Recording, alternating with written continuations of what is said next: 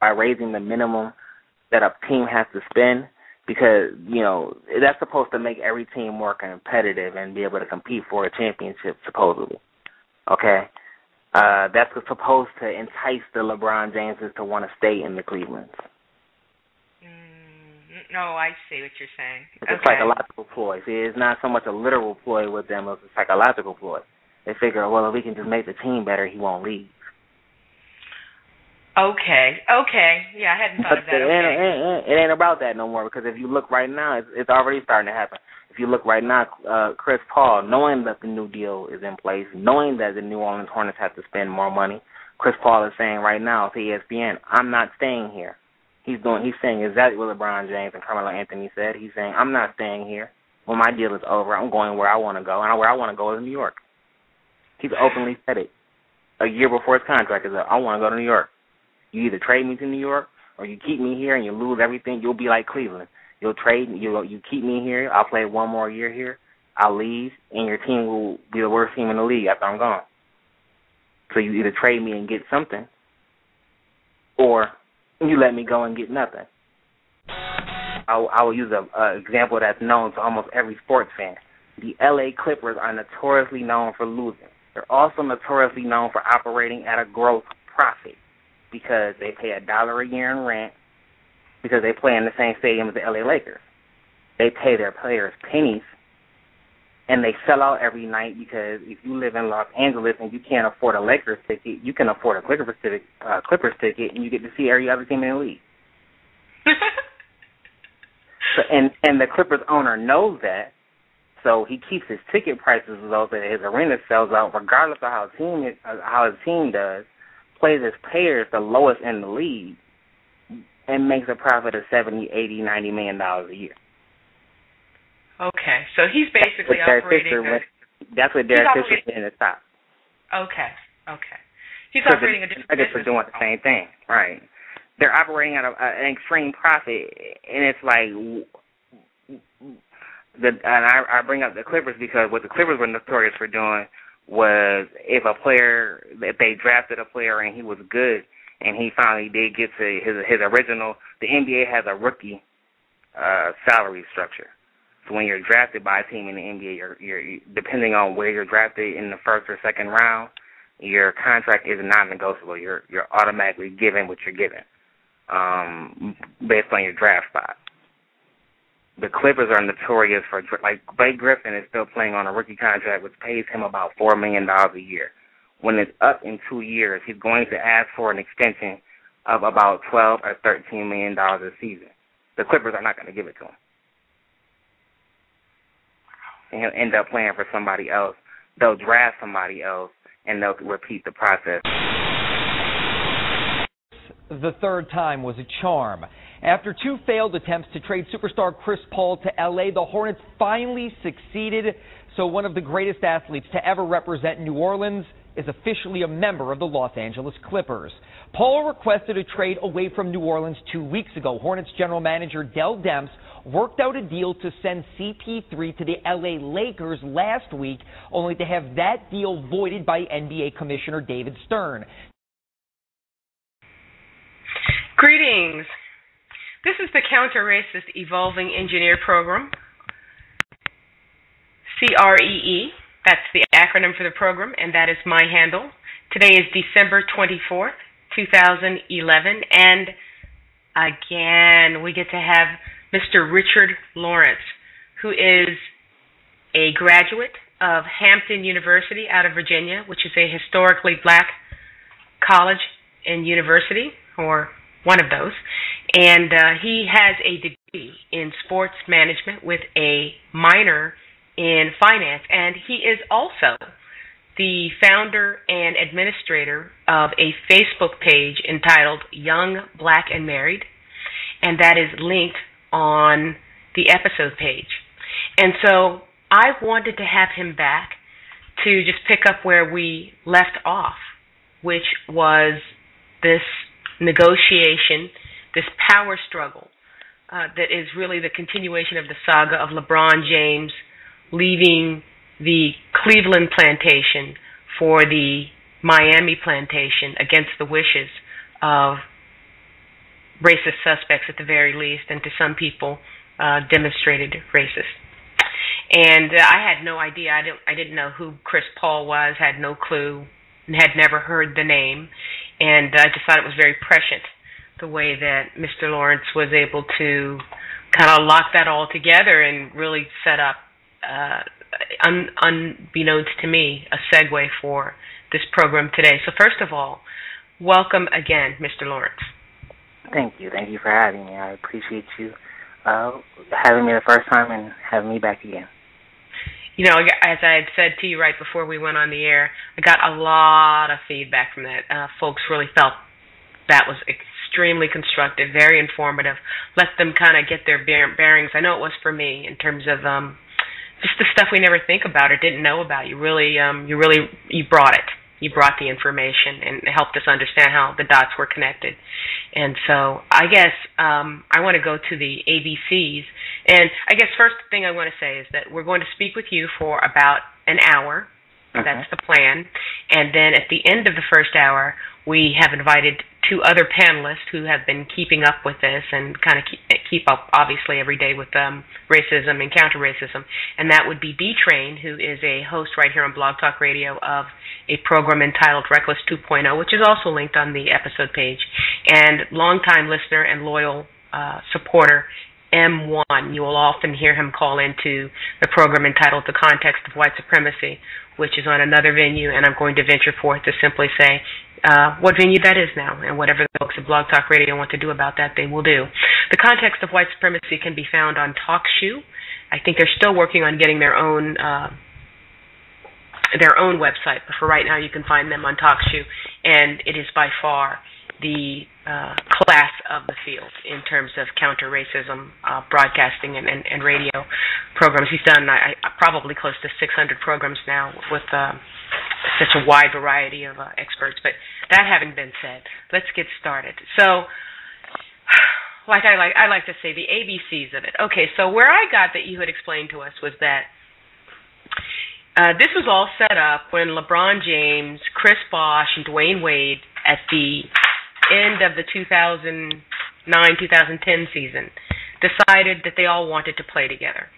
Um, money was a secondary consideration, but it had always been uh, a, an unspoken standard within the NBA that players were supposed to stay where they were put.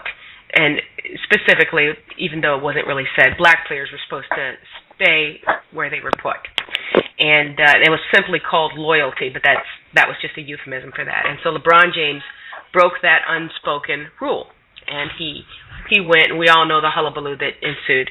And so there was a response on the other side of the chessboard. And the response on the other side of the chessboard was this NBA lockout, and the idea was to try to put in place some things that would keep that from ever happening again, whereby somehow uh, the rules were not that the racists uh, put in place to keep their boys playing where they wanted them to play um, uh, wouldn't be broken again. And so you were explaining about the salary salary caps and how the salary caps were supposed to make that happen.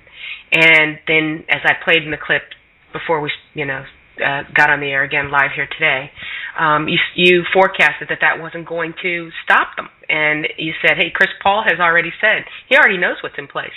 But Chris Paul, who plays for the New Orleans or did play for the New Orleans Hornets, had said, "I want to go. I want to go just like Carmelo Anthony did. I want to go just the way LeBron James did. This is a new era. You can't hold me. I'm out of here." And I want to go to New York. And so that would bring us up to date. He is now in a uh, in a LA Clippers uniform, which is the losingest team in maybe sports history, certainly um, col- uh, professional basketball history. And I'm trying to figure out how we get from, hey, I want to go to New York to, oh, now I want to go to LA. Oh, I can't go to LA. Now I'm in the Clippers. And David Stern somehow got involved. David Stern stopped it. I don't get any of it. I don't see how he didn't end up in New York. I don't understand what David Stern had to do with it. I've never heard of David Stern being involved in trades before. Can you explain this whole big mess to us? Yes, I can. Um, first, let me start in a different sport. Um, it's not. It is very relevant to the NBA. Um, Albert Pujols in baseball. Uh, the St. Louis Cardinals just won a World Series, their first World Series, and I'm, I am not a baseball fan, but I believe about 50 years. Um, he's the most famous baseball player in the world. He's the best baseball player in the world. He just signed a 200, almost 250 million dollar contract with the Anaheim Angels, 10 seasons for 10 years, 200, close to 250 million dollars. So about 25 million dollars a season which is a, a lot of money, obviously. Uh, about ten to anywhere from eight to ten million dollars more than any NBA player can currently make because of the NBA salary cap. That is because baseball doesn't have a salary cap. And if you want the best baseball player to play for your team, you have to outbid like an auction. If I go to an auction and I want that painting on the wall, I have to outbid everybody and everybody sitting next to me. And it's the same way in baseball. If you want the best player, you have to outbid. So essentially, Albert Pujols sets his own market value by his level of talent. The NBA does not allow players to do that. Uh, the best a player in the NBA can make is eighty million dollars over a course of seven, eight years. Um, that is standard NBA operating procedure. That's a standard contract in the NBA. That's the contract that Carmelo Anthony has, Dwyane Wade has, LeBron James has. If you're a player of that caliber, that's the contract that you play under. Um, and for no more. Now, it wasn't always that way in the NBA. A salary cap didn't exist in the NBA until about 1982. Prior to that, you in the NBA, just like every other league, you had to bid um, market value for a player. Chris Paul ended up in a Clippers uniform because the Hornets are currently owned by the NBA. The New Orleans Hornets are owned by the NBA because their previous owners ran into financial problems and filed bankruptcy and sold the team. Um, the NBA had to take over ownership of the team because there was they had the funds to do it. Um, it's not unprecedented in sports. It's happened in other leagues where the league will take ownership of a team for a brief time until they can find a new owner. Now that's where Chris Paul wanting to leave the team comes in. If their best player leaves, then they are not sellable. You can't sell a team that wins 10 or 15 games. So the NBA essentially held up the Los Angeles Lakers and then the LA Clippers and basically for ransom and said, if you want Chris Paul, we need literally half of your team back. And if you know basketball and you can look at the roster of the LA Clippers prior to Chris Paul trade, they did end up getting the best player in the deal, so they're not going to complain. But they gave up five or six players who are under the age of 25 who they really wanted to keep. That's what the New Orleans Hornets. That's why David Stern canceled the trade originally to the Lakers and the first trade to the Clippers because he felt they weren't getting enough that would make them want. Although that was never announced publicly, that would make anybody want to buy the Hornets without Chris Paul. So essentially, Chris Paul was being used as a pawn. He knew that, and he refused to be used as a pawn. In order to get out of New Orleans, he waived what what Chris Paul has is a player uh, player option in his contract. He has after this season, he can either opt out of his last year in his contract or he can choose to stay in it. What he basically did for the Clippers was say, I will not opt out. I will play for you for the next two years but he did not guarantee them any more than those two years, which is the exact same time I believe that Great Blake Griffin's rookie contract ends. If the Clippers can win a title within two years before both those contracts end, I will still I will go on record and say that they will not re-sign either player. they basically took Chris Paul at a discounted rate because wow. his next contract will pay him more. They get him for two years um, which is which was fine for him because he didn't want to be in New Orleans. So he said, "Okay, fine. You don't want to let me go. I'll take. I'll just get out of town. I don't want to be in town, so I'll go wherever I can. You won't let me go to New York, but I only have to play two two years for the Clippers. So I'll agree to play two years for them. There's still no guarantee that in three years he won't end up in New York Knicks uniform. So he's playing the game within the game because that's what he has to do. I realize that the NBA was playing a serious game with him basically because without Chris Paul, the Hornets are worthless. Um. Okay. T- I, I'm maybe I'm I'm real slow on this. My my basketball IQ, my sports IQ is is is pretty low. No, no, go ahead. So I'm not okay. He didn't get to go to New York because okay. I get that the Hornets are a worthless team without him. I get that part. Right. Now, I guess the part I don't get is um if that's true, why did they let him go at all? Because what they were able to get from the Clippers the second time, not the first time, what they were able, essentially the Clippers second, the the, the trades, because it really comes down to two people now. Uh, originally, this was all about Chris Paul. Then it became about Chris Paul and another player, Eric Gordon. Eric Gordon is a phenomenal 23 year old young player. Not as good as Chris Paul or LeBron James or Carmelo Anthony, but about the next level down. So now that the New Orleans Hornets have Eric Gordon, they're still a sellable team. Okay, and then my next question is since they were able to make a deal with the Clippers, why couldn't they make some sort of deal with the Lakers? Because what they wanted from the Lakers was actually a good was a good basketball deal, but the problem became many of the owners in basketball are not basketball people; they're business people. Um, now it's funny because what you're not going to hear is the man who actually made all these deals that David Stern canceled is a black man who works for the NBA. Oh, very pissed about all these cancel cancellations because when he when the NBA took ownership of the Hornets, David Stern told him you have autonomy in how you run the team. So he made these deals.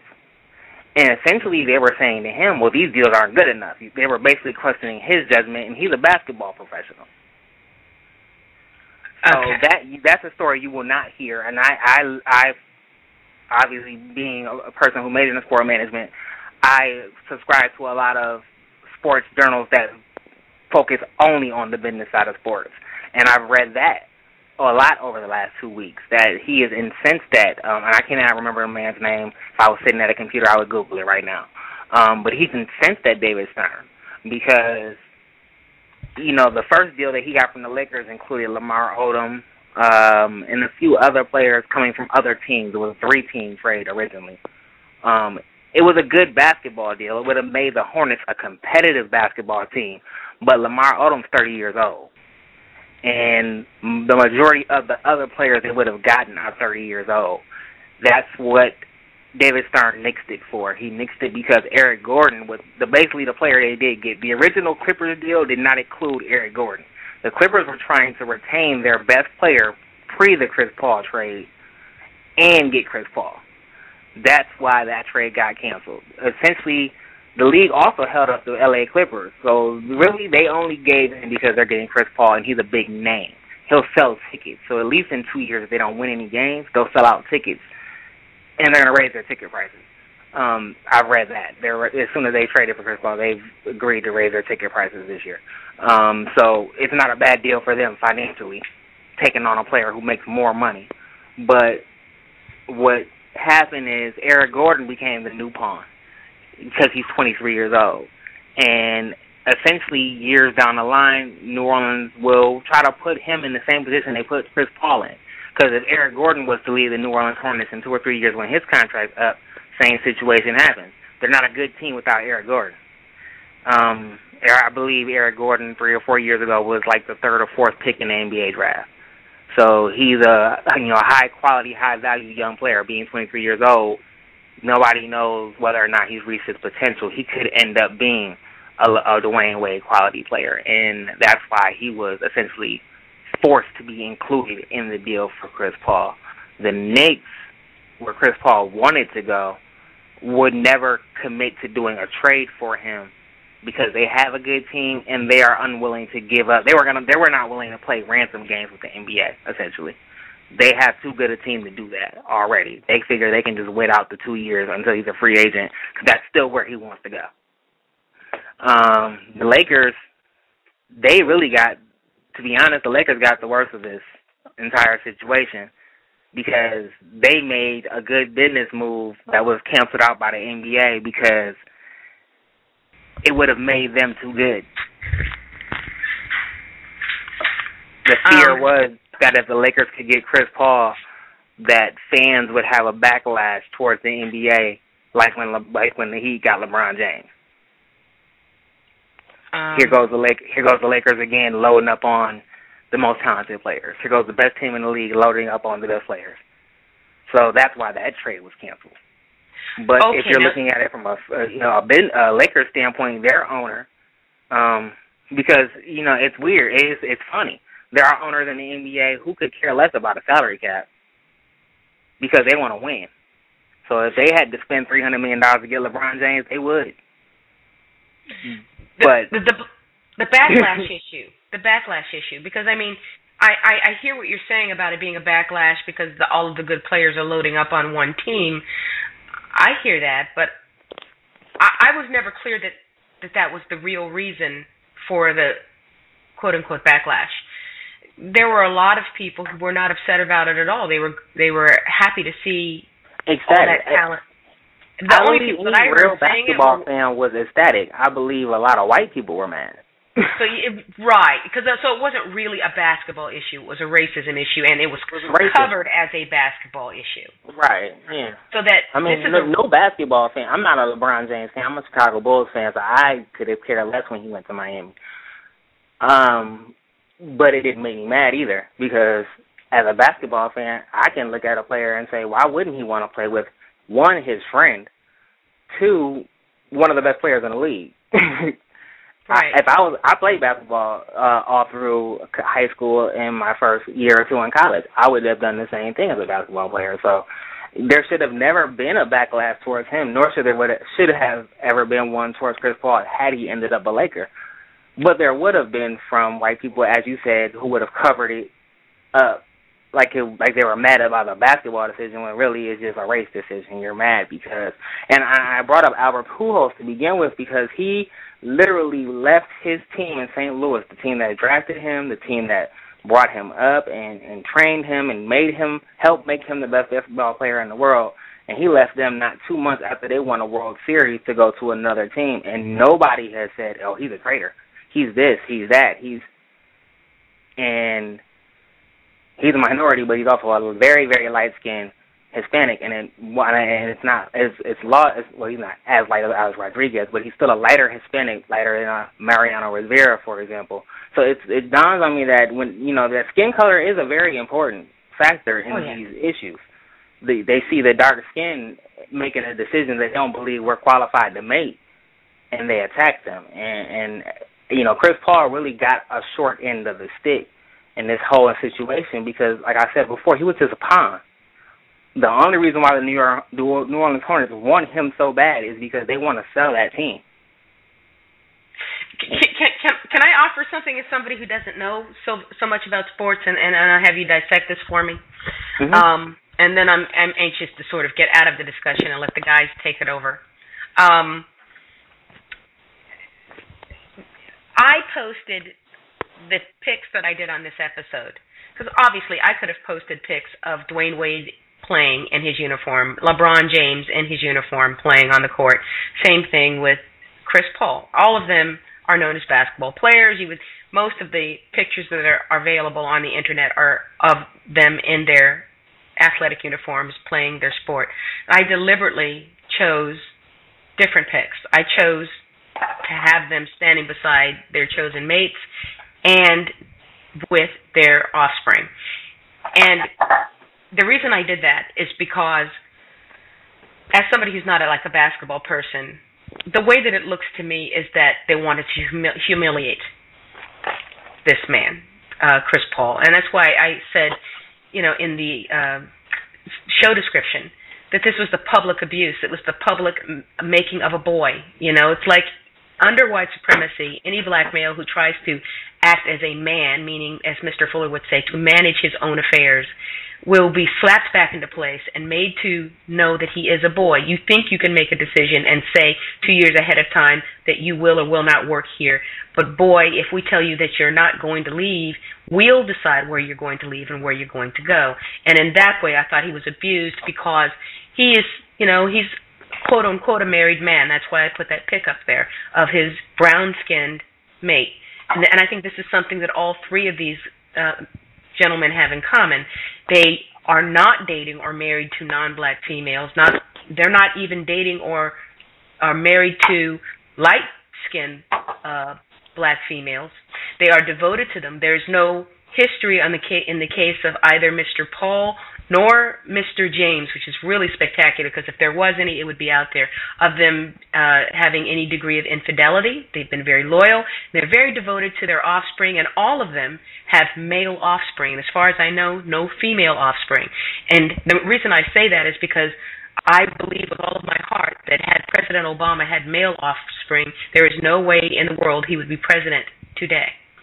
So here you have these black males who are trying to be and you know, as someone who's the founder and administrator of Young Black and Married, who are trying to be trying to be family men, trying to create a financial legacy for their attempted wives and their attempted family and their offspring, and they're being slapped around and and and and treated like runaway slaves and boys. And I think that to some degree, I I I think that is a lot of what uh, you know. Certainly, skin color has a lot to do with it. I've had William Darity, who's an economist out of Duke University, on, and he has done a groundbreaking and irrefutable study study that shows that skin color is extremely important, especially when it comes to earnings. That when it comes to skin color, the very lightest people who are classified as black make the same amount of money as white people as when you're talking about males which is astounding to people so yeah it has a lot to do with it so i guess what i'm saying is a person who doesn't follow basketball it seems less about the making of a pawn in a business decision than it did about needing to put in his place, put Chris Paul in his place in the way that they thought they had put LeBron James and anybody who aspired to be like him in his place after having done what he did. I know that was kind of long-winded, but did no, did what actually, I just I, say make sense? I, I agree. Yes, it does, and I agree with everything you're saying. Um, I bring it, and I really wish I had his name. Um, I will try to get that name to you, um, so that you can post it to your program. But I really believe that although Chris Paul publicly took it, the person that David Stern was really doing everything you just described to was the man who actually made the trade, because he mm-hmm. is a black he is a black man and he does run the New Orleans Hornets and from the the and this is just the buzz um sportingnews.com is is a industry uh trade magazine that sports professionals uh, read. Talks a lot about contracts and stuff like that of that nature. Um, but there are a lot of article, articles on that website talking about how that man had basically done the best that he could with a team, you know, that really didn't have much assets. It, the Hornets are not a good team. They were in the playoffs last year, but that was in large part due to Chris Paul. They're not really a good basketball team. And the trade to the Lakers was actually the best basketball trade. It would have made the Hornets a the most competitive team they could have been. Um, so he was extremely upset because if that is what the league just had this lockout for was to make teams competitive, and if that was the whole quote unquote premise of everything, then essentially you're a liar. Was what he was saying to David Stern, how he felt in, in the articles that I've read, because you know I did that. I made the team. I made moves to make the team competitive, and you basically said no. I, you, your moves aren't good enough, or they, they don't cover. And, and to me, and that is even more egregious in this sense because you know that, that's just because they have they're my personal uh, role models as a young black male in that business. But the three people most rumored to replace David Stern, who is rumored to leave his position in the next 12 to 8, 24 months. He's not going to be NBA commissioner long and that's why these moves are so, to me, so blatant. Um, because the the people, the three people rumored to be next in line to take David Stern's position, are all black men. Wow. The current, the current director really? of operations for the Memphis Grizzlies, the current director of operations for the, um, I believe, the Houston Rockets, and the man who runs the New Orleans Hornets right now. Those they are the men. They have uh, the the man who runs the Grizzlies, are, and um, you know they're not even they're not they are people. If you look um, years ago, this is how I was put on to them. But years ago, about ten years ago, I was in college, so about a, about ten years ago. Um, Black Enterprise ran a article on these men, and these are men with Yale degrees and Harvard degrees and dual degrees in business and and law and very accomplished men.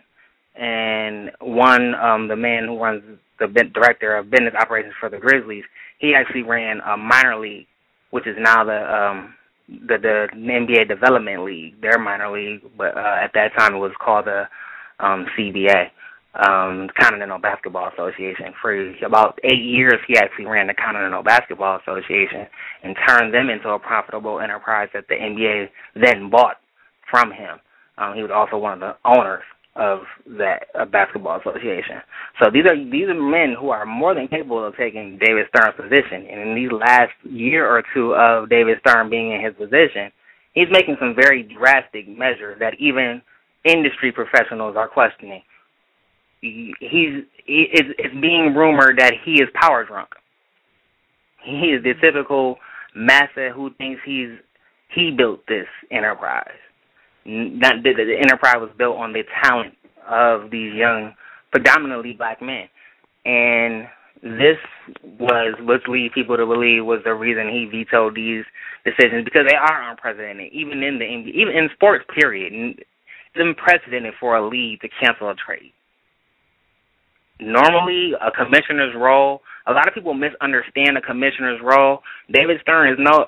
David Stern is an employee. He can be fired in a moment's notice if the 30 NBA owners, he's no different than a, than a chairperson, a CEO. If the 30 NBA owners got together and said we don't want David Stern anymore, then he would be gone. And there has been talk that there have been NBA owners because the Lakers owner was not happy about the cancellation of the trade. Neither was the Clippers owner about the second, the first cancellation of the trade. There's been talk amongst NBA owners of removing David Stern. He's getting power drunk. He thinks he's bigger than the league. And I believe that you know these moves, that all these moves that have been in the news lately are very weird as business moves. They're not business smart. And David Stern has made a reputation for being a brilliant businessman, so I believe he's power drunk. And I believe that he is trying to do everything that you just described. Step on the throat, and I don't necessarily believe it's on the throat of the players. The next more than likely the next, um, the next commissioner of the NBA will be black. And I truly believe he's trying, in his mind, leave a legacy that will never be forgotten. But nobody remembers commissioners. Nobody watches a, a sport for the commissioner. And five or ten years of when David Stern is not commissioner anymore, he will be forgotten. And I believe a lot of what he's doing right now is to try to make an impression. And what he's in the way he's trying to make an impression is literally stepping on the necks of just too many people, and you, you know, it it's baffling to me because it's hurting the league in and of itself. Um, and that's the talk amongst quote unquote professionals. That is very what he's doing is very hurtful to the league, to the image of its players. Is he's left basically Chris Paul out there to look greedy to some people they would assume, you know, why he makes 15 million dollars a season. What is he so unhappy about? But he knows that he works for a team that has no owner, that has no goal or plan for the future. Why would he want to stay there? Why would anybody want to stay in a situation like that? In any situation in business or life, where there's no certainty. So he's only making a smart business decision, and like you said, he's being cast in a weird light for making a smart business decision. And you know, I, I'm interested to see how this plays out as the season drags on.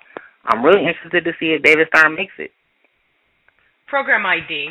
This is the Counter Racist Evolving Engineer program. We're chatting this evening with Mr. Richard Lawrence, who is a sports management professional, and we're chatting about the events surrounding Chris Paul and the trades that were denied for him to get out of uh, his contract or to get out of his um, role as a player with the New Orleans Hornets and how he ended up with the heretofore worst team in the league, the LA Clippers. Uh, let me ask you this.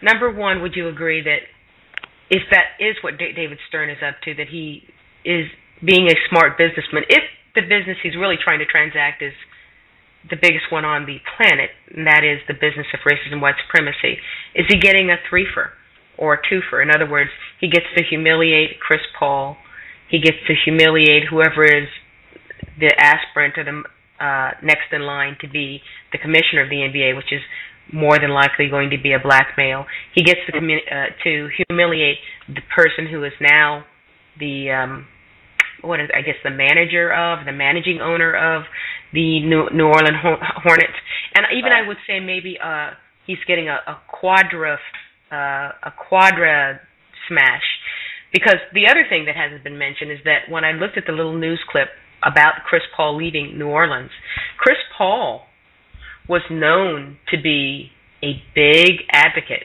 for all of the black victims of Katrina in New Orleans. He gave a lot of money and put in a lot of time. You know, that combined with the fact that he's married to a brown skinned female, has not been seen doing anything other than that, has a black male child. I don't it just seems like that's more and then him saying, Well I'm you know, I'm a man, aren't I? I've done what I I do what I do for principle, and I'm now I'm getting ready to leave. I'm I've, I've done what I can do in New York, and I'm sorry New Orleans, and I'm leaving. Just want to let everybody know now I'm I'm leaving. I'm a star player, and I'm out of here. And that just seemed to be more than David Stern and cohorts could take. And I think I started out by saying, "Let me ask you this question," but I'm rambling some, and uh, hopefully I can fold it all into a question. Uh, he said. Um, I've, I'm uh, lost my train of thought. He said, "I'm leaving. I want to go where I want to go." Um, maybe maybe the reason I can't remember the other part that I wanted to say is because I should leave it right there and let you respond. Well, I, I mean, I really think you know you are you are you are tying it together. And like I said, I'm not. I've never been a, a, a quote unquote conspiracy theory, but if I look at this, I can only look at it in one rational way. And part of me wonders if David Stern isn't trying to, you know, not publicly per se, because they're not publicly known figures, but inside the business, especially this one man who, you know, who's running the Hornets right now, you're undermining his decisions as if they're not good. So if you're undermining his decisions, you're essentially saying he's not qualified to run the league. And you're essentially undermining him. And you know, I, I I wonder. It makes me wonder because, and like I said, I, I picked up Black Enterprise ten years ago and saw, okay, they you know they named these two men. Um, and I, let me let me correct myself. And I'm sitting at a computer right now because I really want to give their names. They are, I believe, men that everybody who any black man who watches sports should know their name. Um, but I read an article about these two men years ago and 10 years ago about them being the main one in line to replace David Stern. It makes me wonder whether or not he will be replaced by a black man at all. Right. You, right. you understand what I'm saying? Uh, it, it makes me. It truly makes me wonder whether or not, and whether or not they won't find some way for a white man to continue to run that league.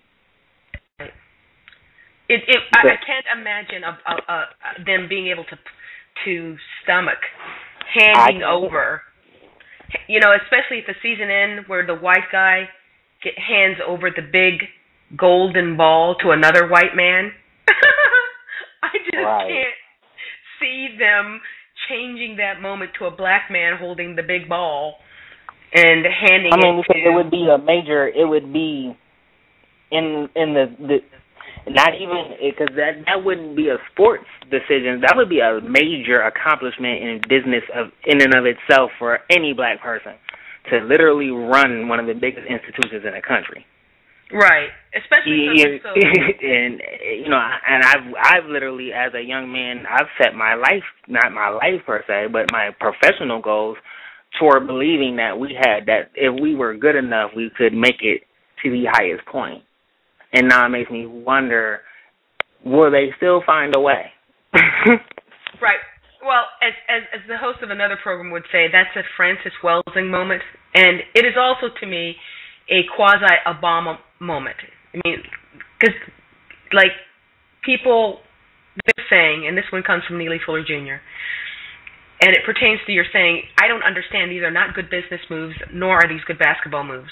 And Neely Fuller often says that if you do not understand racism, which is white supremacy, everything else that you understand will only confuse you.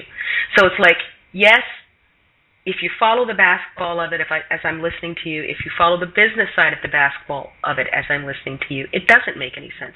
But if you follow the business of the system of white supremacy, it makes an awful lot of sense. I sure didn't. I sure didn't know that the person who was running the New Orleans uh, franchise was a black man, and by invalidating the decisions that this man is making, it's like a sort of a military model, which is that you're basically saying he's not fit to lead. Right? Exactly. Exactly. And so, how's he going to progress upward? And and that's my that would be my major question, um, because you just you pose everything that went through my mind because that just seems that seems to be and like I said, as I've read articles on you know on the quote unquote industry insiders, that is exactly the questions they have posed. You're basically looking at this man and saying you're not qualified. When every sports journalist and columnist can you know looked at the original trade and said this was a good deal.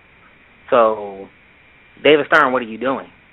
And I have seen a black person, a black columnist, um, make the connection that you just made.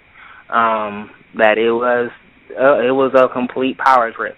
And and and he said, and, and I you know I I can't quote his name, but I can quote his his words. He said the only thing that's not making him go to say that it's a. He said he's about seventy five percent short that it's racist, and he said the only twenty and they're only reserving twenty five percent because he's not. He can allow himself to give David Stern credit in one aspect. The NBA and this is what David Stern has gotten, had did do for the NBA. When he became commissioner of the NBA, he took them from a league whose championship games were broadcast at midnight on tape delay to being broadcast live in front of millions and millions of people. So he did do that. He did a lot of things that were brilliant businessly, which makes everybody look at his moves now and say there's only one blatant reason why these why you're doing this, and it ain't business. So it got to be racism and you know publicly I I know why our brother wouldn't want to make that on his on his you know on his Washington sure. Post column. But sure. I I can you I can read between the lines and realize that he drew that connection, and I've drawn it in my head too. And with everything that you're saying, I, I fully agree because you know like I said, their names only escape me right now, and I'm looking for them as we speak. But I know their position and I know who they are, and anybody who was interested and went to Google could find these men's names without much research. Um, but the man running the New York Knicks is a black man. The man running the Memphis Grizzlies is a black man. The man running the New York Orleans Hornets is a black man. And when you look at these decisions, I truly believe, and I don't mean running these teams in terms of in terms of going out and finding players. I mean running the businesses of these teams, running the money, setting the ticket prices, that kind of stuff. They are running the business ends of these teams. And I believe there have been decisions, not just this year, there are ones that are not as relevant, as glaring, but going back years that have shown a very big, I don't know, distrust, um, disbelief in those teams and in those men by extension. And, you know, and it's just gotten egregious in the last month or so. Let me ask if you think it's a matter of distrust or do you think it's a matter of just out and out sabotage? In other words, it's not so much that they don't trust them to make good basketball business decisions. It's just that they cannot stomach uh, a black male exercising any kind of power. I think they. I think it's that. I, I do think it's that what you just said, and I think that they that the decisions those men have made have been too good. Right. And, um, and, and, and, and here, you know, when you say, well, there's talk about people are dissatisfied with Stern and Stern's most recent unprecedented decisions.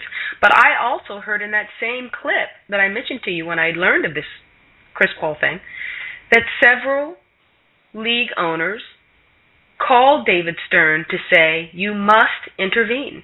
You, yes. he was actually uh, Cleveland's most, owner was the first one to call. Cleveland was a, there. You go, and Mark Cuban I heard was one of them as well, the owner of the Dallas Mavericks. yes, he was. Um, actually, Mark Cuban, and and that was, um, he did call David Stern, but it was, and I I, I hated the fact of how that was kind of reported. He called David Stern to yell at David Stern for canceling the first trade. Oh. Because, oh. And I understand that in, in this sense, he's looking out for the welfare of his his product. Um, that sets up, what David Stern did set a bad precedent because he's eventually saying to the Lakers, "I'm not gonna let a good team get better." Well, Mark Cuban has a good team, so if you're gonna do that to the Lakers, you're gonna do it to me too. And that was his reason for calling David Stern, not so much that he cared about Chris Paul, um, but his phone call to Chris uh, to David Stern stopped a day later when he got Lamar Odom from the Lakers. So. okay, okay, I must have misheard it. No, it, it's not. That's not your fault because it wasn't reported well from what I from every article that I read. Um, it made it seem it, it made it seem as if the owners were in support of Stern. Not every owner was. Um, particularly the Lakers owner, who is still mad, and there was even talk, although it was quiet, of bringing an antitrust lawsuit against the NBA. A, a second one because I know the first one that that was made is they decertified the union to have an mm-hmm. antitrust. So yeah, would it have yeah, been the owner, the, the Lakers owner was thinking about bringing one. Wow! Because wow! he felt like it, he felt like other owners were in collusion with David Stern to stop his team from continuing to win.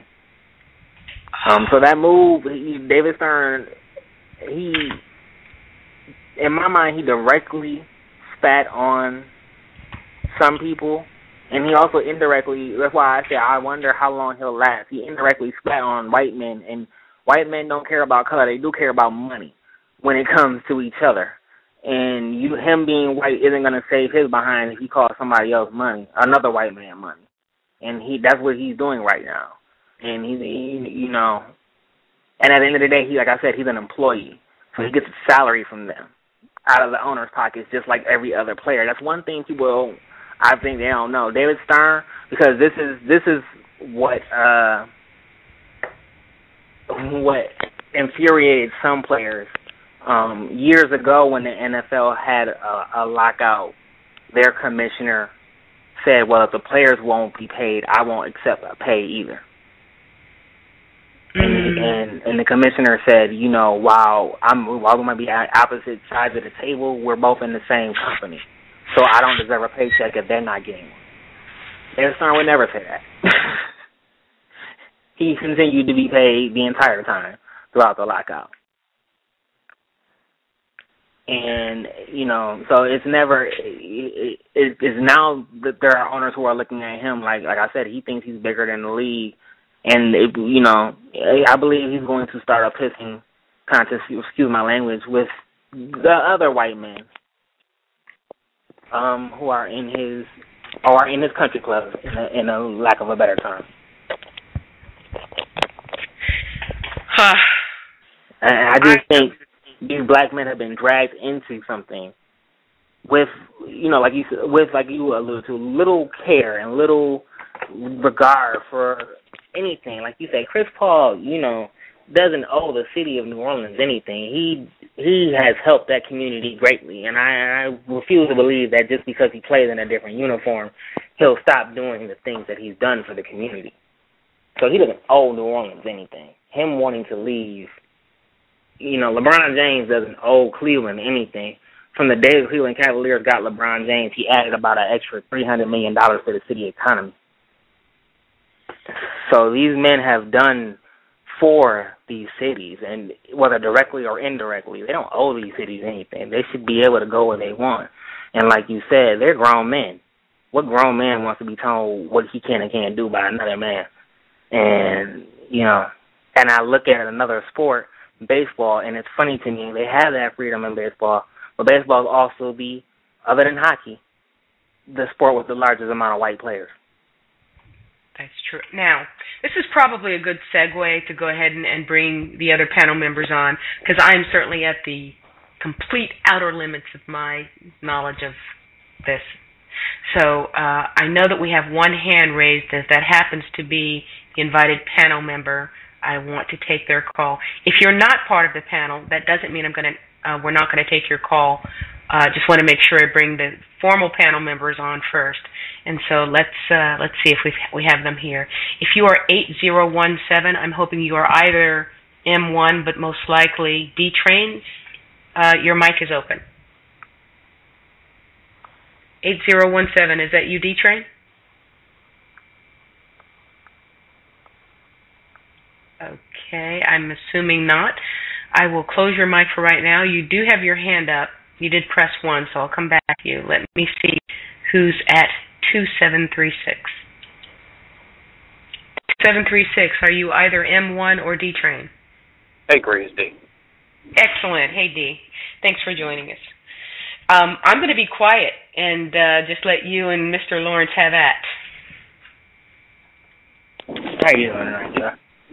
How you doing, uh, Mr. Lawrence? Um, I definitely appreciate the discussion today, and I was uh, quite thrilled to participate because uh, I do see um, a lot of, I guess, racial elements playing into this um, into this Chris Paul situation. Um, have you um, have you heard about where uh, Magic Johnson the other day commented? Um, I guess he was defending David Stern. I guess yeah, I some people had accused him of being racist. Yeah, Magic I. Johnson was like, "Yeah, yeah, yeah. I don't have quite it. interesting." I, that frustrated me. I, I yeah, Quite yeah. interesting. Eh, but I also know that Magic's trying to become an NBA owner too. Yeah. Okay. I suspect- It, it, it, I'm sorry to interrupt. M1 has just joined. I just want to let you know that M1 is now on the uh, on the line. So, uh, if you could welcome him him to the conversation, and the three of you are are live. Hey, uh, good good evening to everybody. Good evening. How are you doing? Yes, uh, I'm glad that uh, we are revisiting this topic because when I uh, posted on Cree's blog the uh, Chris Paul situation, it just further proved to me that you know this was really all about power struggle and as, as I told you, I mean, the ink wasn't even dry on these contracts, and this heinous move was happening to Chris Paul. And and when I ask people, when you look at the disrespect being given to LeBron James, Chris Paul, there was some disrespect to Albert Pujols, not as intense as LeBron James, but it was done. And the baseball player Carl Crawford earlier this year, Yes, yes. I always ask these people, isn't this supposed to be isn't this supposed to be what made this country great? You hear all the time. The capitalist capitalism, the free market, you know, the entrepreneurial spirit is what made this country the greatest on earth. Well, I, I, I'm, I'm laughing because I, I I literally said the same thing to Cree the last show, but it's always a double standard when it comes to the brothers, though. yeah, and and you see, and I can see if these are negative men, but everything about them suggests they are positive on all levels. And all fronts, man. So, you know, uh, like I said again, if if if not racism, then support their decisions in the free market because that's that to me is what this is all about. I mean, they should be able to go wherever they want on their terms, even if it's less money or more money. It's their terms, and and, and they should not be vilified for it. You know, and and it's just, and I say, it's just, you know, quite interesting that uh, that this that that these incidents happen, and I do, and I do believe they're going to happen on a larger scale. I agree. I have to agree. You know, it's just like. Oh, I'm sorry. No, you're fine. I I was only going to say that I have to believe that Chris Paul and LeBron and, and players like them have set a precedent that the owners don't like. And and not just the owners, the uh the quote unquote fans. I mean, uh when when I when I read what had happened with Carl Crawford, the disrespect being done to him, you know, it it it, it was like it was like must if you don't play for this team, that that that this certain group of people should should have the right to uh be just vile towards you. You know, and, and I said, the same with with Albert Pujols. Okay, yeah, yeah, okay, yeah. He he left, but but the other team made a better offer. You know, if uh St. Louis wanted to keep him, they should have made him a term that he agreed to. But M1, not everybody knows who, who who's Albert Pujols and who's Carl Car. You may have already said who Carl Crawford is, but who are those two guys? Uh, as as Richard Lawrence said, uh, Albert Pujols is a is I mean was a, a St. Louis Cardinals player, all around good player, over 300 hitter, great stats, helped them win two World Series was the uh, World Series MVP, as a matter of fact. Um, what would you guess that uh, Mr. Pujols' racial classification is? Uh, do you think uh, he could be classified as black or? I mean, definitely not white. Uh, no, that, that is true. I, I think they. I, I I've always got the sense in baseball per se, me, just in my opinion, that they will tolerate the Hispanics more than they do the blacks. That that that may be, you know, but but but the thing the thing is when I said when players from Dominican Republic, uh, Venezuela, Cuba, you know, come here and play baseball, you know, they may not be classified as uh African American, but the disrespect does come. And now I see Albert Pujols as my brother. Right. Same way I see Ken Griffey as my brother. You know, whether he agrees to it, I don't know. You know, it's like it's like the Sammy Sosa issue. Right. I see him as my brother. He may not see himself as one, but that's that's okay with me.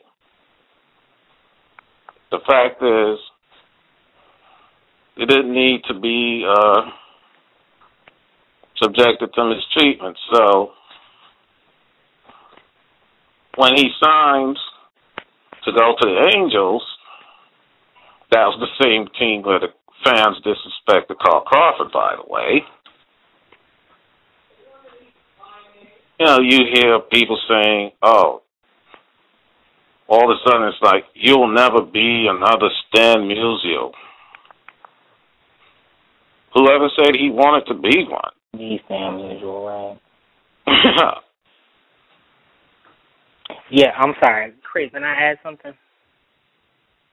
You the, well, you are yeah, yeah. You're the you're the marquee guest, so please the, say the man running the Hornets. Uh, I did I did find his name, Dell Demps, a black man from Long Beach, California. Now you do the math on how David Stern felt about him doing the move that would have put Chris Paul in a Lakers a Lakers uniform. oh, oh, oh! I see your point. Oh wow. Okay. okay.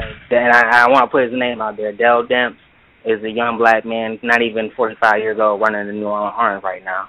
The NBA executive. D E M Dell D E L L like the computer, and his last name is Demps D E M P S. And what is his title? He's a, he's the executive of I'm looking for operation. I believe that that's his internal title. Uh, he's an NBA executive in the league office. They put him in position to run the Hornets while they were looking for an owner. I don't know the exact title they gave him while running the Hornets, though. I do know that he is the one that orchestrated all the trades that have been in the news the last couple of weeks, and who basically his decisions were the ones that were vetoed. So this young man is the one who, in the business sense, was vilified by by David Stern, and you know, this young, I mean, his professional resume is is is, is a brilliance, and so you, you know, I wonder how this man feels.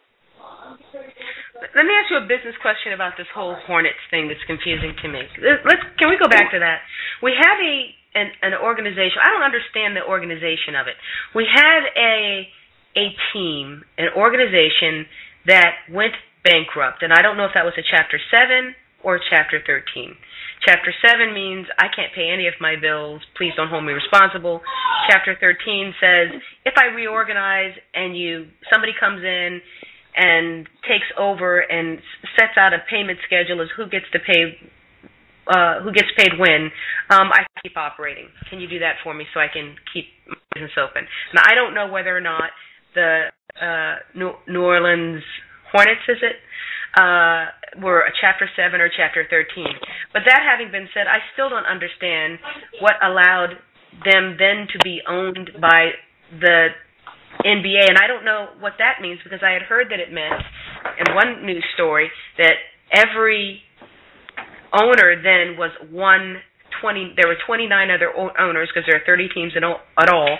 That right. every owner had one twenty ninth share in that particular team, and I guess that's curious to me. Is that somewhere in the in in the bylaws? And then the other thing I didn't get is wait a minute. When a business goes bankrupt, don't they just go out of business? Why couldn't there have just and and all of the employees lose their jobs? That's I mean that's uh, we hear that all the time. The company went under and the employees lo- lose their jobs. Why didn't that happen? Why did they stay in business then owned in this sort of really weird kind of vague way by the NBA? and then they and then I heard this is I'm trying to put it all here at one time so you don't have to hear this female voice going on and on. Uh and and then Okay, well, so now one is it Dave? If one twenty ninth of them gets to own it? Why is David Stern stepping in and making decisions? Oh, because he's their employee. Okay, so forget about that last question. But if you can just help me understand why it was that they didn't just go out of business and all those players lose their jobs and struggle for a place on some other person's team in the NBA or in Europe, that would be helpful. I, I, I guess I just and was it a Chapter Seven or a Chapter Thirteen bankruptcy? Um, I don't to answer that question. I don't really think it matters in professional sports. Now, what you're saying is, is absolutely right. In professional sports, that never happens. The, the LA Dodgers are currently in bankruptcy as we speak, um, looking for an owner, also owned by Major League Baseball. Um, it's a very common situation in professional sports, actually. Usually, what happens is the owner gets divorced. That's usually when these situations come. When an owner gets divorced and his wife starts suing for half of his assets, usually the team gets sold off to pay the ex-wife.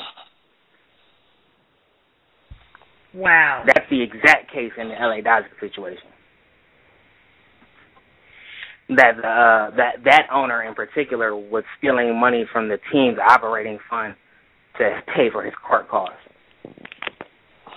Um, okay, in the Hornets situation, I'm not sure because they have recently moved. They had for the longest time been the Charlotte Hornets. and their move to ever since their move to New Orleans. Um, and actually, this is a bigger deal um, than just Chris Paul. The New Orleans Hornets should not be the New Orleans Hornets. It should probably be the Oklahoma City Hornets. When Katrina hit New Orleans, that team played basketball that year in Oklahoma City um, to sell out crowds. Then they moved back to New Orleans because the NBA felt like it would be in bad taste to take the Hornets from the city of New Orleans right after that hurricane. What they did end up doing was taking the Seattle Supersonics from Seattle and moving them to Oklahoma City and turning them into the Oklahoma City Thunder that are now currently in the NBA.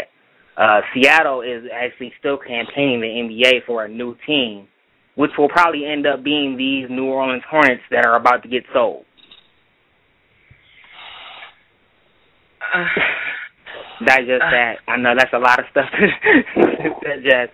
This is all David Stern's organization, orchestration. He believed that, oh my God, we're not going to take New Orleans from, uh, you know, the Hornets from New Orleans. Two years, I think, two or three years after they had moved there. Um, they played in Oklahoma City, and the New Orleans Hornets owners at that time suggested to David Stern, we believe we should just move the team here. It's a better market. The fans are more willing to come to games. We believe we could operate better here. David Stern said no. And then took another team from a market that had thrived in basketball. The Seattle Supersonics were one of the most popular teams in the NBA and still are one of the most popular teams in the NBA, even though they don't exist. And he moved them to Oklahoma City. Now the Hornets need an owner and are basically not far from being bankrupt as a team themselves and one of the way they were looking to that's been floated around that they're looking to generate revenue is by moving them to Seattle. So we're essentially taking teams and switching them through cities because of bad decisions David Stern has made. He's made a lot of bad decisions in the past couple of years. Now, I said I was going to let the female voice back out, uh, but I, I'm sorry. I hope this will be my last question, but it probably won't be. But I'm going to back out for a while.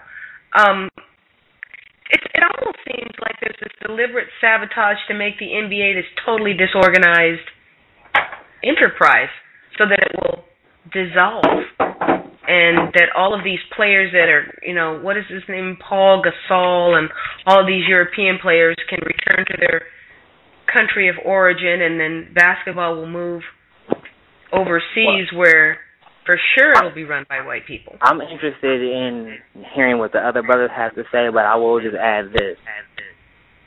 For years, there has been talk that the NBA wants to create a European division. Hmm. hmm well, oh, sorry. I, you know, I wonder whether or not, as you said, these moves are these moves make no sense from a business or from a professional sports standpoint. Um, but the NBA has for years said we would like to have a European division. Players have always said we have no interest in having a European division. Yeah, it's interesting to see how that kind of situation would play out and what plays out from it. Hmm. That that doesn't surprise me because uh, I remember a few years ago there was this Sports Illustrated issue, and it asked me what I thought was the ridiculous question.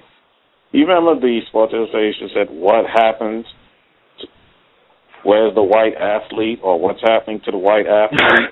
I remember that article well. Yeah, and I had noticed at that time you were starting to see an increase in uh European, European players. players. yeah. Yeah, I remember that article well, very well. So, so, so as you said, you're right. It was uh, it was starting then, and it wasn't just. Uh, and it wasn't just that. I I was noticing that our numbers were going down and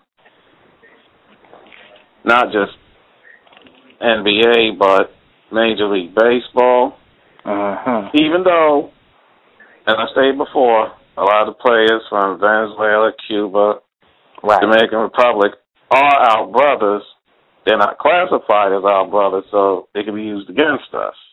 Right. So the fact that they're trying to go through a uh, NBA, you know, European League didn't surprise me. You know, had Yao Ming been more successful, there would have been a larger influx of players from China. From China, I believe so too. They tried. They tried anyway. yeah. There's another Chinese fellow. I forget his name. He was even worse than Yao Ming. Talking about uh uh Yi. Um, Yi. Yeah, the power forward that plays for the Wizards. Yeah. Yi if you want, to, if you want to call that playing. exactly. Has anybody noticed? Has anybody noticed? Has anybody else noticed that the average skin tone of the basketball players has gotten incredibly lighter in the last 15, 20 years? Yeah, that that is true. You know, it's interesting. I was I thought about that also. You know, going I, I know we talked about this uh like like I remember when the players that are called biracial look like Spud Webb. Right. Or Jayson Williams of the New York Nets, not the white Jason Williams. Mm, and now they're Blake Griffin, Jason Yeah, Kidd. looks look, looks just like a ginger kid, and Kris Humphries. Kris Humphries, correct. It's it's also as you bring that up, it's also uh very telling to me that Steph Curry, while being mixed, looks black and doesn't get the publicity of a lot of the players you just named. Hmm. Exactly. Hmm. Hmm. Um. Sorry. I mean, I just found that that because that used to be the thing. Basketball used to be a black guy's thing. I mean, that's where you saw the black men. That's where you saw the chocolate. You know, as some of us like to say, the chocolate delights.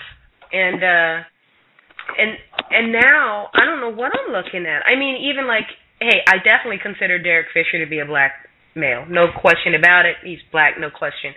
But he seems to be kind of almost the average skin tone now of a ba- of a, a professional basketball player, and Yeah. for most of my existence, he was definitely considered quite light skinned, but he's almost getting to be on the darker side. What the heck is going on?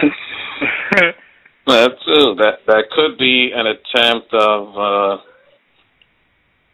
you know, trying to make the game, as they say, more accessible.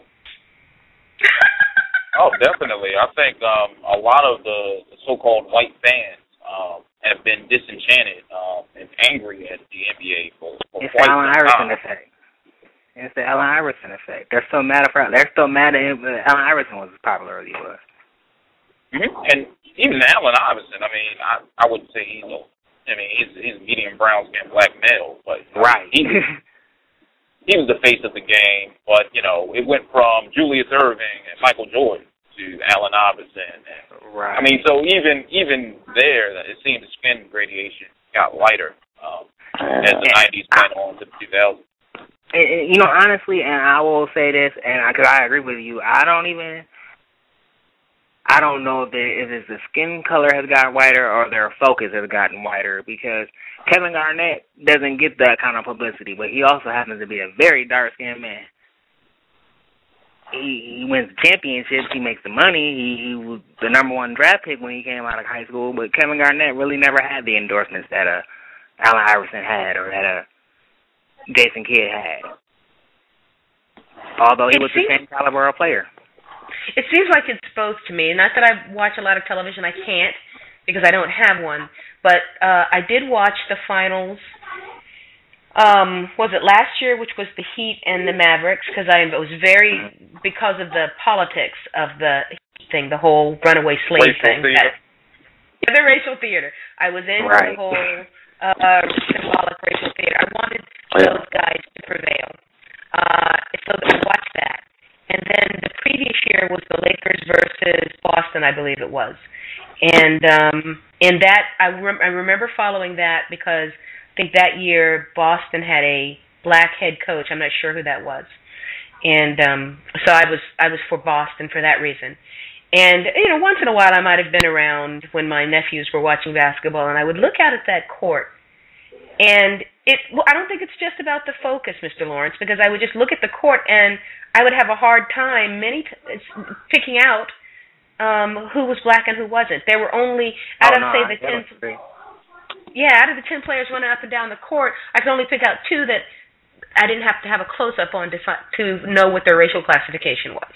And well, I, I, I, I'm, I'm sorry. I don't even. Think, I think you have to go back to the article that uh, you know that was referenced. Uh, you know, where are white people in sport? That has been for the last almost ten years, ever since Sports Illustrated ran that article. That has been a huge discussion, and I don't. I think that influences the minds of scouts of of uh, you know, brothers ain't stopped playing basketball.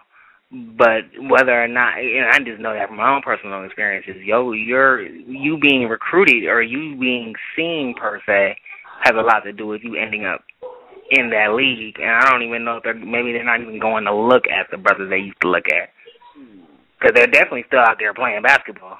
They have, you go look at a college game and I see a whole bunch of dark skinned brothers on the court. I see. Mm-hmm. And They're isn't not so making much they're not making it to that level, that next level, and I'm wondering is it because they're good enough or because they're being told they're not good enough because they're dark.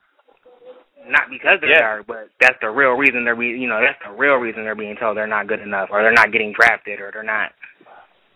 They they're still trying.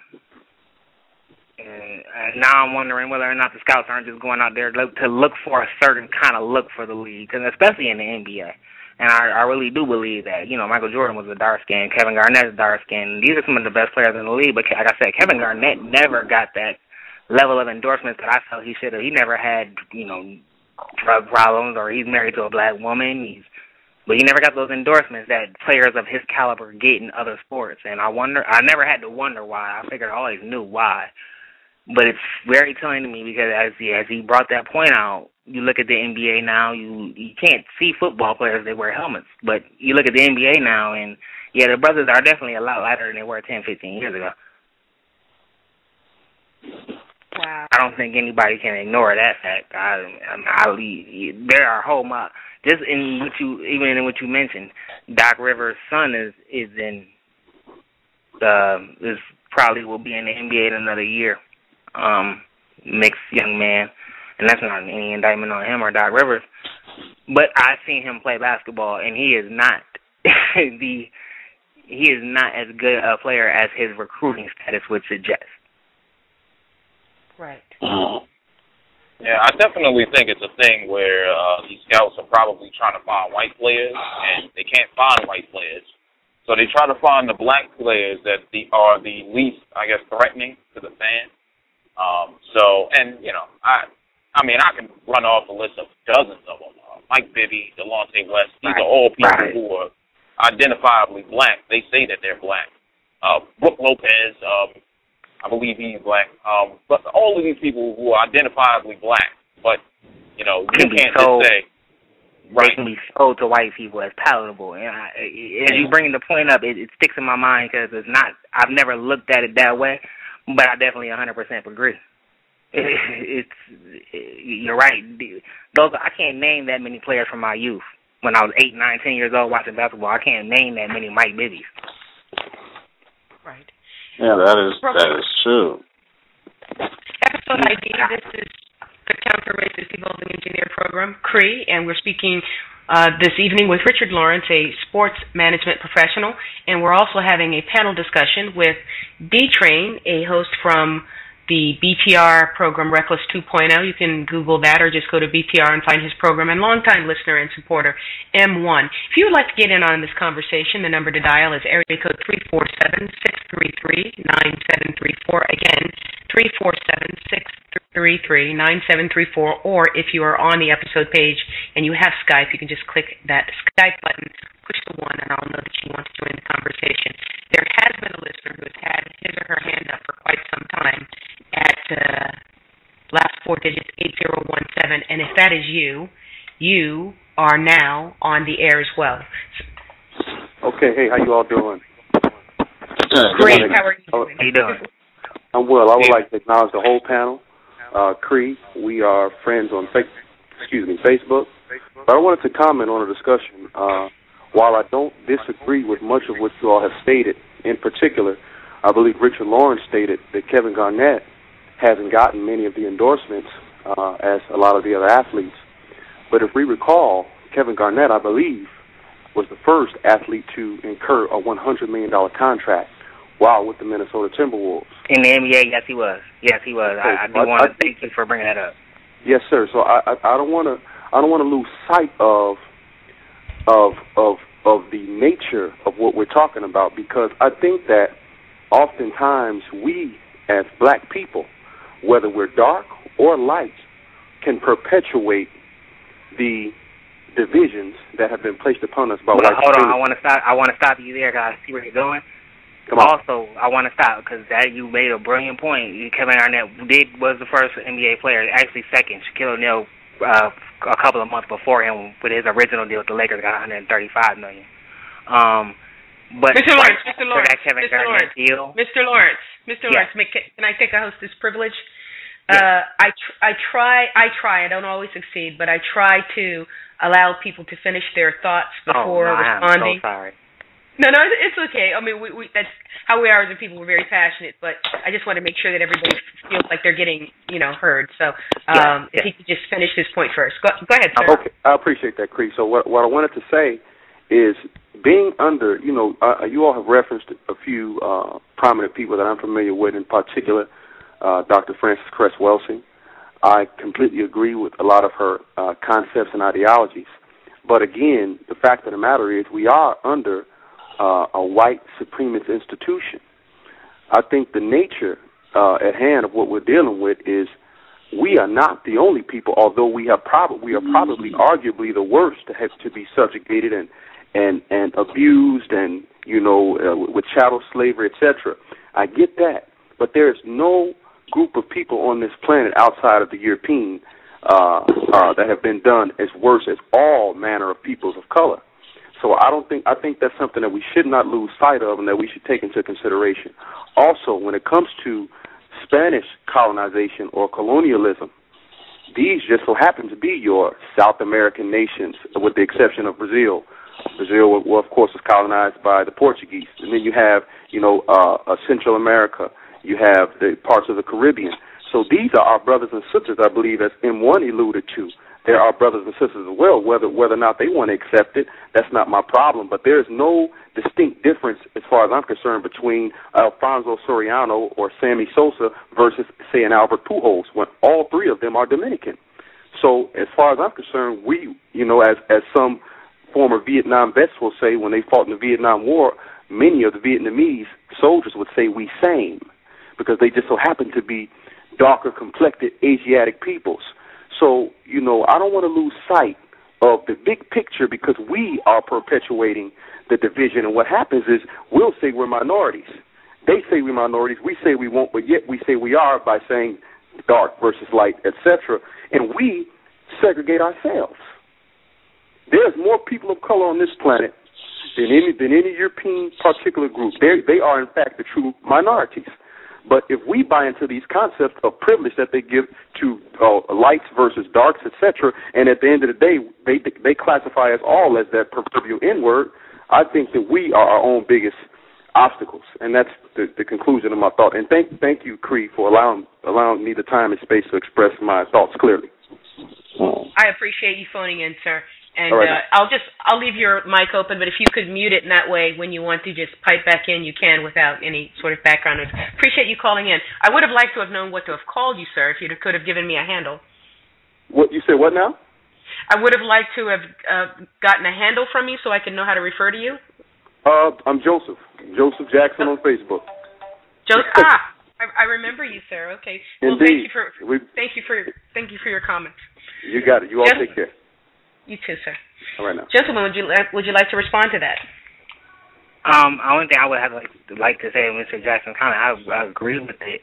Um, I I definitely don't want to appear because me personally, I agree with everything he said in that aspect of regardless of our differences in, like the first brother said, I look at Sammy Sosa as my brother too. Um, now, whether he sees me as his brother, that's a different conversation, but that's not anything I can control. Um, now, when I speak about our differences and shade, I look at them. I'm speak of them from the perspective of a white person. What's easier for them to quote unquote accept.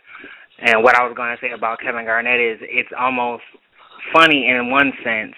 His contract led to the first lockout in 1997 the NBA had when he got that hundred million dollar contract, his hundred million dollar contract is the reason why no current NBA player can make more than eighty million dollars over the lifetime of their contract. About a forty million dollar decrease from what Kevin Garnett is still being paid. His contract ends this year, I believe, or next year. Um, so, you know, I've always wondered is part of the backlash for him being paid about fifty million dollars more than any other NBA player that he only got the contract with the Adidas and per se, where you look at Allen Iverson, who regardless of the times he was quote unquote arrested or in trouble, had Reebok deals, had TV endorsements, had you know various endorsement levels. As another brother pointed out, he's also a quote unquote fair skinned brother. And as I just uh, you know, as it, and like I said, it didn't break my mind. So the first brother had said it. As I look at it just from a child's aspect, when I was I'm was born in 1983, so I grew up watching basketball in the early 90s, watching the Bulls, the Pistons, and teams like that. You did not, and how it's changed, I can only guess. And I believe, like the brother said, um, you know, maybe they're looking. That I, I believe that Sports Illustrated article was prophetic in that it put in the minds of business people, the, the, the scouts, the the trainers, the coaches. Okay. We're gonna go out and look for that that black man who we can sell to white men and to white women. And I believe it started a trend because I and, and that's not to say anything bad about the brothers in the NBA now, but I believe it has started a trend. And my only reason for saying that is because what about all the other brothers who don't look like them? Are they right. getting the fair shot that they should be getting? Is my only question. Right it, we try to use the word just instead of fair here, just because of the just because of the the well, uh, way that you yeah. put the quotes around fair yourself. Um, but yeah, I just uh, I think you're right. I I I had wondered, and and you made it clearer for me. I'm not sure who has that that background noise, but if you could mute your line when you're not talking, that would be that would be great. I know we can't always control what's going on in our household. Um, it I had really was a, a two part question, which was are are the people who are classified as black in this part of the world called the United States getting that much lighter skin? Has that much uh, genetic mixing gone on to where it's actually showing up on the basketball court? And or is there some other sort of selective criteria going on, like what goes on in the general labor market, where lighter skinned people, males in particular, are favored uh, have better employment prospects. It's been demonstrated conclusively by William Darity and Darrick Hamilton in their landmark study. Uh, is it just a labor market selection uh, advantage under white supremacy to have lighter skin? And I think what I hear you saying, just based upon your experience, Mr. Lawrence, is that it's more of the latter than the former. That that, that there are darker skin talented basketball players were being discriminated against in that uh, discriminated against, mistreated on, on the basis of darker skin shade in that labor pool. And that's truly, on my part, that's truly just a thought. I was very, I'd be very interested to hear what everybody else, you know, has to say or would think about that. Oh no, I, I definitely agree with with with, with that because uh, as as you as you say, Cree, you know, not only was that study show this happening in sports. I mean, this is a uh, this is something that basically uh, covers all fields. I mean, uh, I've industries out, outside of sports where this type of uh, selective behavior is is being done, and I hope I wasn't being negative on uh, light, you know, our lighter skinned brothers, I was, I was just uh, making a point. But but if I was, I'll, I'll have to uh, apologize. No, I, I me me as well because I I definitely you know don't want to appear like I'm trying to cause any kind of division. Like I said, I I truly when I make those kind of statements, I make them more so from where a white where I believe a white person is looking at things, not so much a black person. Because my mother is extremely light skinned, is a light skinned woman. That's his life. I remember being a child, people looking at me and saying, "Is that your mama?" And that used to make me upset because why wouldn't that be? Um, so I would never like to cause a division, you know, amongst anybody for or appear to. Um, but I, I do believe that you raised a good point, and I, like I said, I can only look through my just my own personal life experience and know that when I watched the NBA 15 years ago as a, as a child and collected basketball cards and stuff like that, no, the brothers on those cards were not as light as the brothers that are in the league today. And, right, and, and and same you know, thing I here. I, I don't know what that's an exemplification of. Uh, like I said, that's why I'm interested in hearing everybody's thoughts because, but I know that it's happening. And you know, when the brother brought it up, I, all I could do was shake my head and say, "Wow, you know, that's a really good point." Well, it is entertainment, and just like skin color screens for who's going to be picked up as a star, as a singer, even now in in rap, um, it's gonna it's gonna it's gonna screen in other forms of entertainment and just labor generally. And I guess for me, same thing. I'm looking at it from the perspective of the people exercising the power, and that is those people who practice racism, white supremacy, not so much from my perspective. I'll I do have personal codes that I utilize in order not to perpetuate that caste hierarchy. Um, and I'm using $52 words. What I'm saying is I try in my own personal behavior not to do things that promote the idea that the closer you can get to white, the better. But that doesn't mean that I don't recognize these people who are lighter skinned to also be victims of racism, white supremacy, albeit uh, less so than I. And I have a more com- complex analysis of the problem, which I don't think is now is the time to kind of uh, go, go into that that kind of detail. Let me switch tracks a little bit and stay still on the um, issue of sports. Uh, pick one, and the first person that speaks uh, that speaks picks the topic. Uh, Barry Oh, Bonds, okay.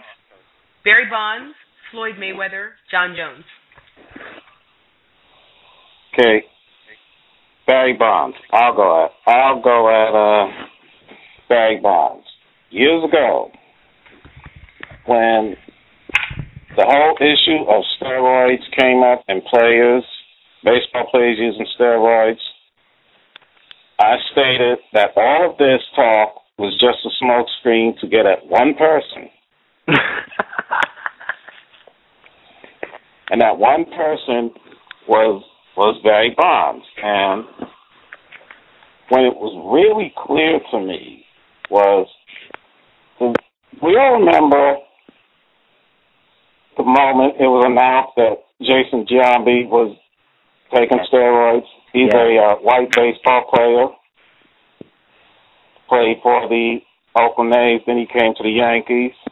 hmm Okay, I I remember that day. I'll I'll never forget it. I was watching sports TV from day to night, and the top and the conversation would immediately focus to Barry Bonds, and I just thought, you know, he wasn't even implicated in anything, but yet everybody is focusing on him. And and like I said, this is literally from watching sports TV from like eight o'clock in the morning to ten o'clock at night. There was this uh, Fox Sports show that used to come on with John Salley, all those dudes. I don't know if you remember that show. Yes, I do. Yeah. Uh, anyway, That sports show, yeah, yeah. Yeah. Yeah, and they too talked about they too talked about, you know, Jason Giambi briefly. And then they announced the next guest. The next guest is Barry Bonds' former part, former player, San Francisco Giants, who used to play baseball with Barry Bonds. And I said again, what does he have to do with this? if the issue is Jason Giambi, why aren't you bringing on one of his former teammates? So I knew from there it was about him. And when they finally got him on on this whole quote unquote perjury, if you notice there was that whole then the whole uh, Mitchell report came out on baseball and steroids, and it, rec- and, re- and it recommended so much, but no criminal prosecution for people involved in this activity. Yes, it did. And I just thought that was it. They they had them. It's done. No one else. Palmeiro lies before Congress. No one goes after him. Even, even when Major League Baseball sat on it just so they could make more money off him, Right. sat on it. Roger Clemens was given a mistrial, and it's and it's doubted he's and it's doubted that the feds are going to retry him. Right. So I just said it was about him, and they got him. He's in house arrest, beats prison, but It's still too much. as we say, larger confinement, but still, it was all about him, Right. and that's all I have to say. I I can't. I don't have anything to add because everything you said covered it uh, from my end. I I believe Barry Bonds is. It's just, regardless of whether you think him using steroids is right or wrong, it is not a criminal offense in the sense that he should be under any kind of arrest. When, especially when nobody else is. If I'm not mistaken, now somebody correct me if I've, I'm incorrect, but the only person to have ever served hard time for using a performance enhancing drug for athletic performance is not only a black person, but a black female, Marion Jones. Someone correct me if I'm incorrect. And to my recent knowledge, you would be correct. Wow. Of all the people to to send to prison to do hard time for enhancing performance in athletics, a black female, to me that's akin to putting Serena Williams in prison if by you know or Venus for finding out that she's been using performance enhancing drugs while all of these white men and black males do it. You send you know, to actual prison a black female. And I didn't hear a bunch of uproar about that. I didn't hear a bunch of oh my that's so unjust. I didn't hear that about her. And I'm No. just I'm registering that and asking why not. No, I I I I, I agree with you, and and sad to say, you know, I'm sorry, this I- is I- I- kind I of the way I only want to we treat one that sisters. I believe her boyfriend went to jail, but I still believe she served more time. So yeah, you're absolutely right. She did. She's. I think she's the lead. She's done the most time behind this whole steroid thing. And let's not forget the public humiliation. Yeah, she was humiliated, and she'll never recover from her public humiliation. Now that, yeah, And even if her boyfriend did do time, as far as marquee athletes, she's it. no, no, he was never in her popularity class. No. Mm-mm. And so it's like more of that's that again goes to why I put those pictures up as the sort of uh, symbol of this program is the coupling of the brown skinned black male and black female, you know, the athletes. Because anything to just turn topsy turvy uh the relation between us. You know what I mean? It's like the black male is not allowed to be the manager and the black female is not allowed to be protected by her manager. And uh, you know, if, if anybody should have gone to prison, it should have been a white male but certainly, if a black person was going to go to prison, it should have been a black male. But this is just to show black people that we don't have that black males are will not be permitted to protect and provide provide in the case of these three gentlemen in the NBA for black females, and black females are not allowed to be protected and provided for. So as she begins planning, as Mr. Paul's wife begins planning for her move, uh, and her husband has probably has told her, "Baby, I got this. We're going to New York." And she's made all kinds of plans. Who knows? She may have made I don't know how many trips out to L.A. to um to New York to get a, to get an apartment or a house, what have you. She may have made deals, you know, made all kinds of plans for school for her offspring. And then he's got to come home and say, "Well, I, I know what I, I know what I told you, babe, but um, mm, mm, I know, I, I know, I know, I told you I had this, but uh, no, uh, no, um, n- no, he, what, that's not where we're going, baby. And this is what I mean about it's a public humiliation, but it's also a very private one, and it's one that um ultimately like it works on the psyche even if that's not your husband it works on the psyche of all black males and all black females and no, to i believe it does yeah. because i saw it what you're saying is very telling i saw an interview with chris paul this morning on SportsCenter and he seemed a lot more somber in his mood than I have ever seen him. He's normally a very cheerful. He's a very public uh player. You know, he does a lot of charity events, and he every year he does a bowling tournament that's broadcast on ESPN and stuff. So he's very, uh, very light-hearted, cheerful guy from wherever I've seen him.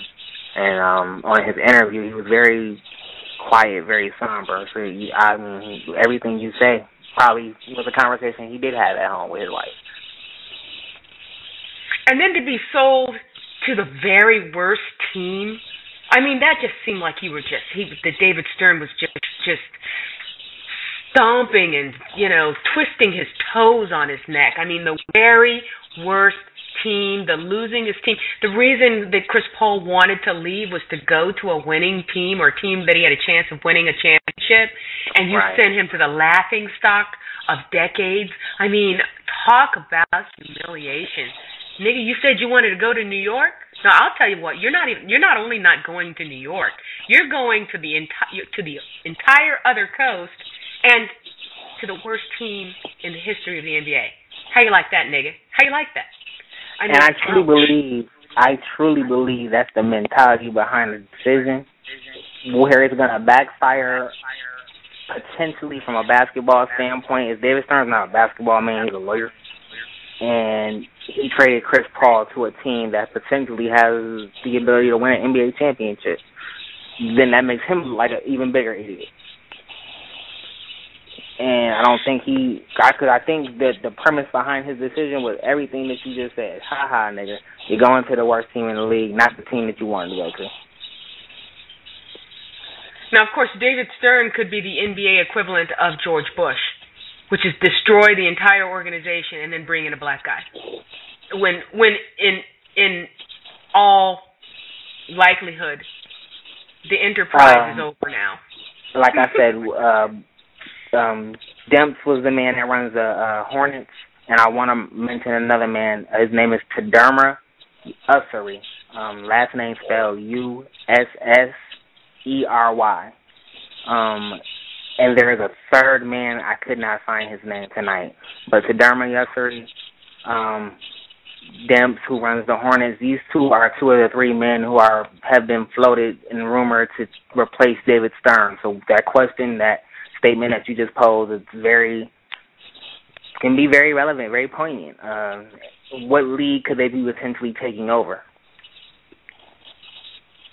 And you know, and what standing will it be in? And then if it's not in good standing, do they get the blame for the league taking a quote unquote step back? I'm sure they will. But you know, is it is that the plan per se? Because it's seeming like that's the plan. That's what it seems like to me. I'm not sure how we got back from Barry Bonds over to basketball again. I'm not sure how how that happened, but uh, and but I will note that they got Barry Bonds as M1. M1 added so much information that I had never heard before, yeah. uh, and so there was that. And um, I, I, but I want to thank. I'm mm-hmm. sorry, M1 when he mentioned Roger Clemens. Roger Clemens to me was the biggest telling piece of everything that he mentioned, because like he said, the feds haven't. They're probably not going to retry Roger Clemens. Why is Barry Bonds sitting in house arrest? Wow and and Roger Clemens' use of steroids was identical to Barry Bonds. It achieved the exact same effect in both of their playing careers. Both of them were Hall of Fame players before they ever pumped a bit of steroids into their body. They did it to prolong their careers. So why is only Barry Bonds prosecuted? And we all know why. But that and like you said, why only Mary? Why did only Marion Jones serve hard time for her use of steroids? Those are very. I'm glad that you even mentioned them and that M1 mentioned them. Those are very. Those in and of themselves probably deserve their own show. I hear you. I hear you, and and uh, you're certainly in, you're certainly invited back. Before they got Barry Bond, I should probably do another program ID. This is the Counter Racist Evolving Engineer program. We're speaking this evening with Richard Lawrence, who is a professional sports management uh, consultant, and he is speaking with us as well as panelist M1 and BTR host D Train, who we haven't heard from in a few minutes, uh, on the I- issue of racism in sports and how it plays out, uh, starting with this uh, NBA thing. Um, tomorrow is going to be the tip off, right, of the NBA, and we'll see this whole drama unfold, and we'll get to hear who gets booed and who gets applauded and so on. Uh, and it's always, you know, we always have to make the black athletes always have to make they have to they have to make all kinds of excuses for why it is that uh, they don't get the applause and the celebration that they should and why they're being booed. They can't say because white people don't like me, because if they do that, if they tell the truth, anytime under the system of racism and white supremacy, if you bring truth to bear on the subject, you will get abused. It's like an abused child uh telling, you know, grandma or hopefully it's a black social worker, my mommy hits me. Um, you're going to get hit worse. So, but especially if you have a whole system of it, you don't you don't tell. Not supposed to do that. Uh, we got we kind of covered Barry Bonds. We didn't cover the fact that they made him wear a dress. I, I guess we could say they didn't make him, but uh, I don't think that he knew what he was doing. But when he put the I'm, dress, I'm, I'm sorry, I'm not even aware of that. Can you go? Can you go into that, please? you know, the guys can probably do it better than I can. D Train, if you're on the line, can you talk about Barry Bonds' dress wearing? Uh, great. Can I be heard? I can hear you yes. loud and clear. Yes. Okay. Oh, I'm sorry. I I got disconnected from the line uh, a while ago, and I, I didn't know if I if I had uh, been uh, I guess unmuted back. Um, um, but um, did Barry Bonds in a dress? Yes. I missed that one. I'm. I'm I missed that oh, one. I, yeah. Um, I, I've heard about that. I haven't looked much into it. I mean, I'm. Yeah, I'm. I'm not sure exactly when it happened, so I would be the I wouldn't be the most reliable source uh, to retell. Um, but I do remember hearing about this. Um, but I do not have uh, I do not have the I guess the exact details of what happened. Darn. I hadn't I hadn't even heard about it. Y'all y'all are putting me on to information that I will be going to look for as soon as I hang up this phone.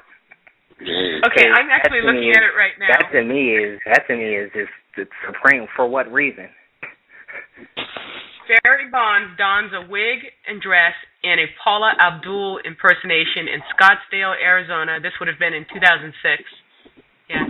He entertained and delighted a small gathering of fans and teammates Tuesday by dressing up as Abdul to judge the San Francisco Giants spinoff of the hit Fox show American Idol. Bonds, who wore a strapless dress and a blonde wig, surprised everyone watching the mock contest where I lied. I lied. I do remember that. I I I do remember that. I do remember that. Now that you read the article, I do remember that. Yes. Wow. Yeah, I remember seeing that actually. you remember? that was around. The, that was around the same time he was being essentially persecuted for because he was already suspected of being using steroids.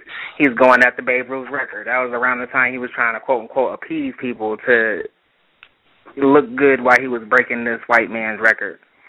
Mm. Very interesting. Right. Uh, the, Right. The That was not. I. I, I fully believe that was nothing Barry Bonds conceived of doing in his own. Barry.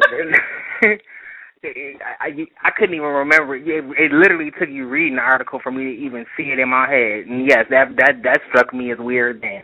But I have to look at the context. I have to think back to what the context of it was, and I remember the heat Barry Bonds was taking as he inched closer to being an all-time home run leader, and it was the only person who could probably identify with him was Hank Aaron himself.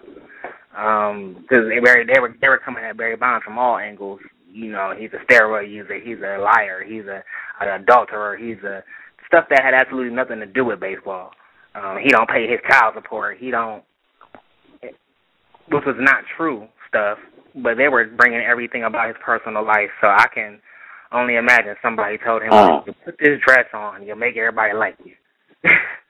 I think another issue was that he was a bit more uh, codified with the white reporters than other um, he was. uh, baseball players were, um, and he had a reputation with the uh, with the white media for not being as friendly um, as some of the other, I guess, personalities, stars in baseball. So I think he also got a bad rap for that. That he that he really wasn't, you know, kissing, you know, the media's butt. I don't think it was ever that. I only I for years I read a uh, sports article, Sports Illustrated article years ago, which supposedly, and who knows how true that was, but which supposedly talks about the night Barry Bonds decided he was going to even take steroids, and in his mind as a player, he saw all the white players around him taking steroids, and he saw all these white players that he knew he was better than, all of a sudden performing better than him, and he knew why. And he Yep, was sitting I mean- there talking. He was sitting there talking to Ken Griffey Jr. and he's like, you know, they breaking our records. They they they're stealing our place in history, and they ain't doing it on natural talent. If I take and he immediately said in his mind went off, if I take steroids, I hit eighty home runs. Uh, which he did. pretty close to it. Pretty pretty close to it. So Right. I mean, I think I mean Barry Bonds, like you said, is was a Hall of Fame player before he ever, you know, when he was a skinny dude that played for the Pittsburgh Pirates. I mean, he was a forty forty dude even back then. Right. So he I never mean, needed a steroid. He never needed a steroid to perform at the highest level. I truly do believe though that he saw all them white players around him taking steroids and said, "Hold up, this dude couldn't. This dude can't carry my bag to the to the ballpark, but he hitting fifty home runs." I think um him seeing Brady Anderson and Mark McGwire, over two white players. Brady Anderson. I was gonna I was gonna say his name. I didn't know it was even relevant, but you you named him out. Brady Anderson was the perfect player. Brady Anderson hit 50 home runs one year. Ain't no way Brady Anderson ever had the talent to hit 50 home runs, and I'm sure that led to Barry Bonds' decision. Oh yeah, I definitely think that was one of the deciding factors. Um, and you know, just saying, I mean, I think even Mark McGwire was a player, you know, that was, you know, he was okay before he started using. Um, white, those were the exact, and I laugh because those are the exact players Barry Bonds was supposedly talking about at that dinner with Ken Griffey Jr. The Mark McGwire, Wow. Brady Anderson. Wow. He he was saying to Ken Griffey Jr., "Man, these dudes couldn't.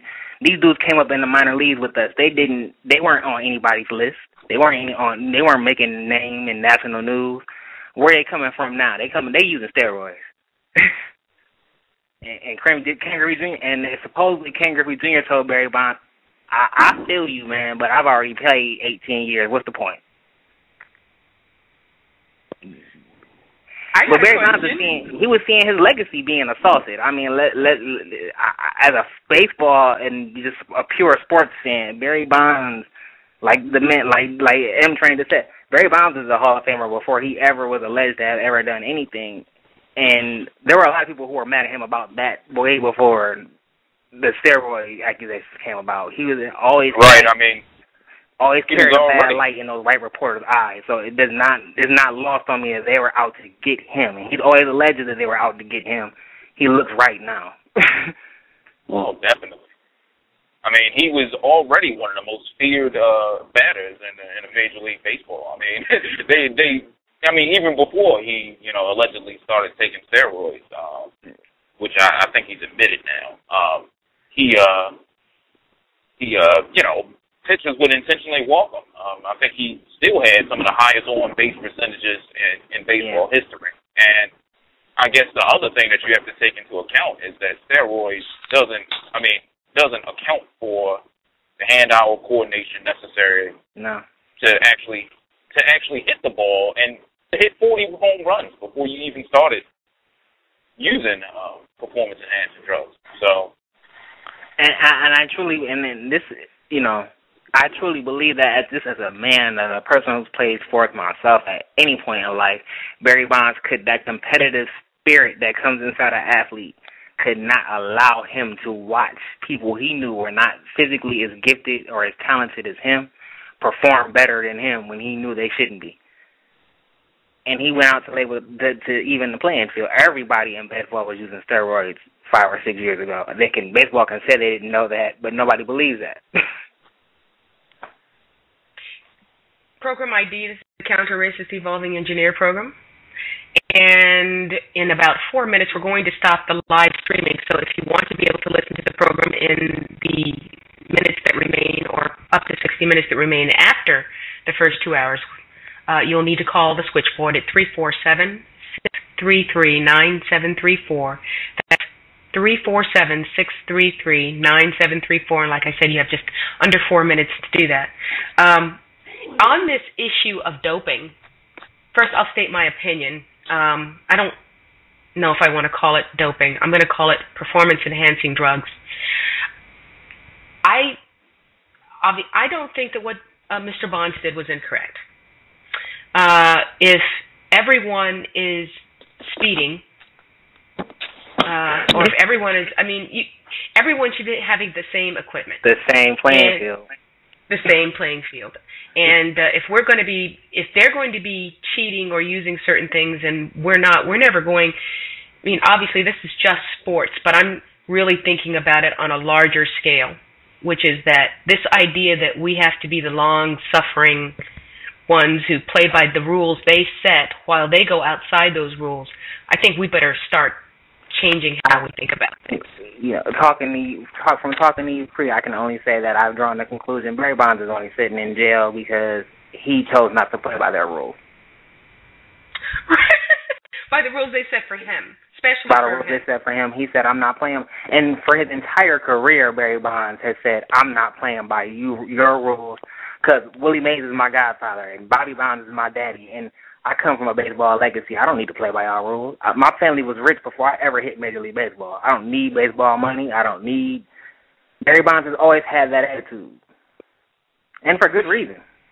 And I think that's the attitude to which D Train was alluding when he said that he behaved in a more codified way, which is that he wasn't, you know, especially um what what is the word?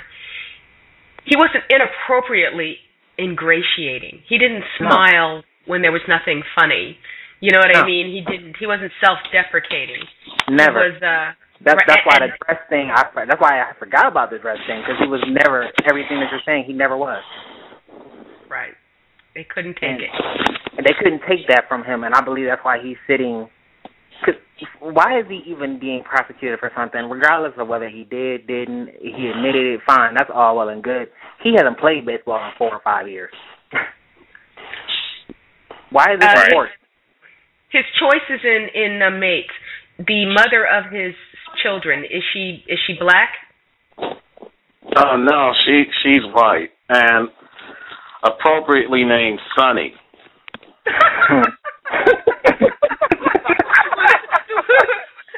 well, if you'd have said glow, I would have agreed with you. But uh, Sunny, I don't, I don't know. It doesn't seem like she's equipped for the sun. I was, I will give Barry his credit on one thing. He let that go years ago. oh, he did. Okay, all right. Yeah, that Um, that, that is true. But yeah, and then he did marry a black woman, but but again, you you know what also got this uh this whole thing started? His white mistress diming him out to, the, to the cops. Mhm. Um, I wasn't sure if anybody else remembered that. You are exactly right. Yes, you are. Yeah. This is this is how the whole thing got started. His mistress, white mistress, selling him out. She she phoned the police and said that he perjured her, himself, or what did she do exactly? No, it, it, it, she, I believe she was the first one to say that she saw syringes and stuff, and then believe that he was taking steroids. And then from that came all the investigations that pretty much took down on not even just him, but a whole lot of people by default, you know, indirectly. But she was, it was her. yeah, and and the truth is, she she really did that because she thought as his mistress she deserved more money than he was more giving money. her. Right. Right. And he said no, so she dimed him out. I, I well, can now, honestly say that as a sports person, I've always respected in the way that Barry Bonds, like you said, he didn't smile when it wasn't appropriate. He didn't make the you know make the the typical kind of yes sir comments when they weren't there was no reason for that kind of stuff. And I believe that you know after a while they just couldn't take it anymore. Yeah, I mean, Yeah, I think he was kind of the. Oh, I'm sorry. No, no, you go on. I was going to say he was kind of the anti-Griffey, um, and I, I'm Black Ken Griffey victim uh, blackmail, um, and you know I'm a Ken Griffey fan, but uh, Ken Griffey was always known uh, for being you know quite pleasant to uh, Right, right. to the media Or the Frank time. Thomas.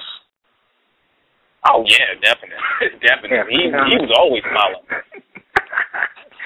But but like I I mean like I I said Barry Bonds why would he feel like he had to do that? He you know Willie Mays is my godfather. Bobby Bonds is my daddy. I I can play this game and I don't owe y'all nothing. And and, he came with that kind of and I, and I and I've always felt like even as a child they don't like Barry Bonds. Barry Bonds is a little bit too strong of a brother for them for them for that old boys club in baseball. But you know, I don't think that he understood what you just said, Mr. Lawrence, because if he did, and again, this is totally not me blaming him at all. This is why we keep repeating, those of us who do repeat it, that if you don't understand racism, white supremacy, everything else that you do understand will only confuse you. And many times when I repeat that, I'll have two calls immediately drop from my line. Just immediately, oh, God, not this, not the quote unquote race card again. But the reason we do that is because we are so so sad every time something like that, meaning the footage that got taken of Mr. Bonds putting on the dress because he thought that would take the heat off. If he had better understood the system, how it seeks to undermine our sexuality, that that's the greatest thing it seeks to do, to make us into things, to undermine Right. our sexuality. Uh, that that is the reason they couldn't take him behaving as close to a man as as possible under this system. Then he would have known not to put on that dress, but he didn't understand. He didn't understand. He thought, like you said, my godfather is a Hall of Famer, a legend. My father, the same thing. I don't need this money. I don't need your adulation. I come from baseball royalty, so I don't need to. And so, but he, and that's the reason he didn't feel like he needed to do that. However, if he had understood what was going to come because of that and why, right he wouldn't have put on that dress. And I know it's it's going to be something that's going to haunt him for the rest of his life because his children are going so. to see that. I believe so too because everything about him and the image he gave off countered that one thing. It goes completely opposite to that. Right.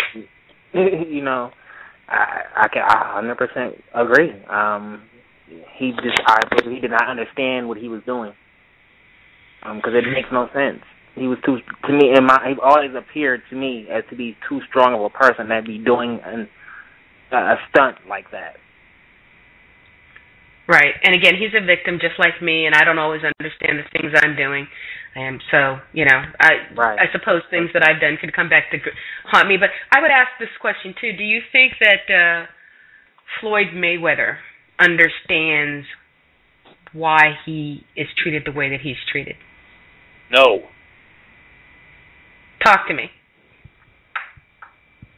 um, just from his general conduct, uh, uh, just kind of the, I I guess, in the buffoonish way he acts. Um, yeah, I, I seriously don't think that uh, Floyd understands. Um,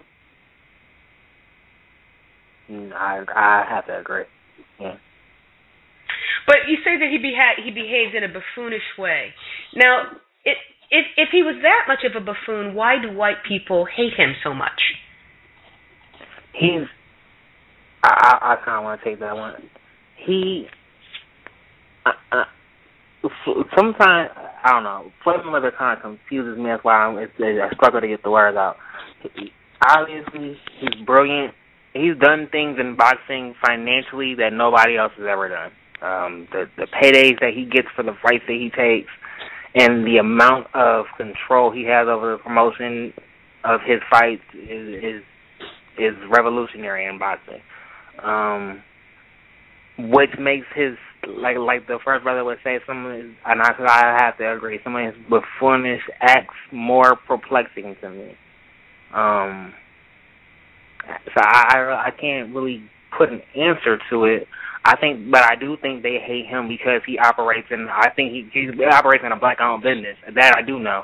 Team Mayweather is is pretty much 100% black, um, and family. And um, so what he, you know, the money that he makes, he keeps in his family, and I think that in and of itself is a reason for a lot of the the hate directed towards him. He doesn't bring in the outsiders, and boxing is notorious for the the the black man with the white manager mm. who's taking who's taking sixty percent of his earnings.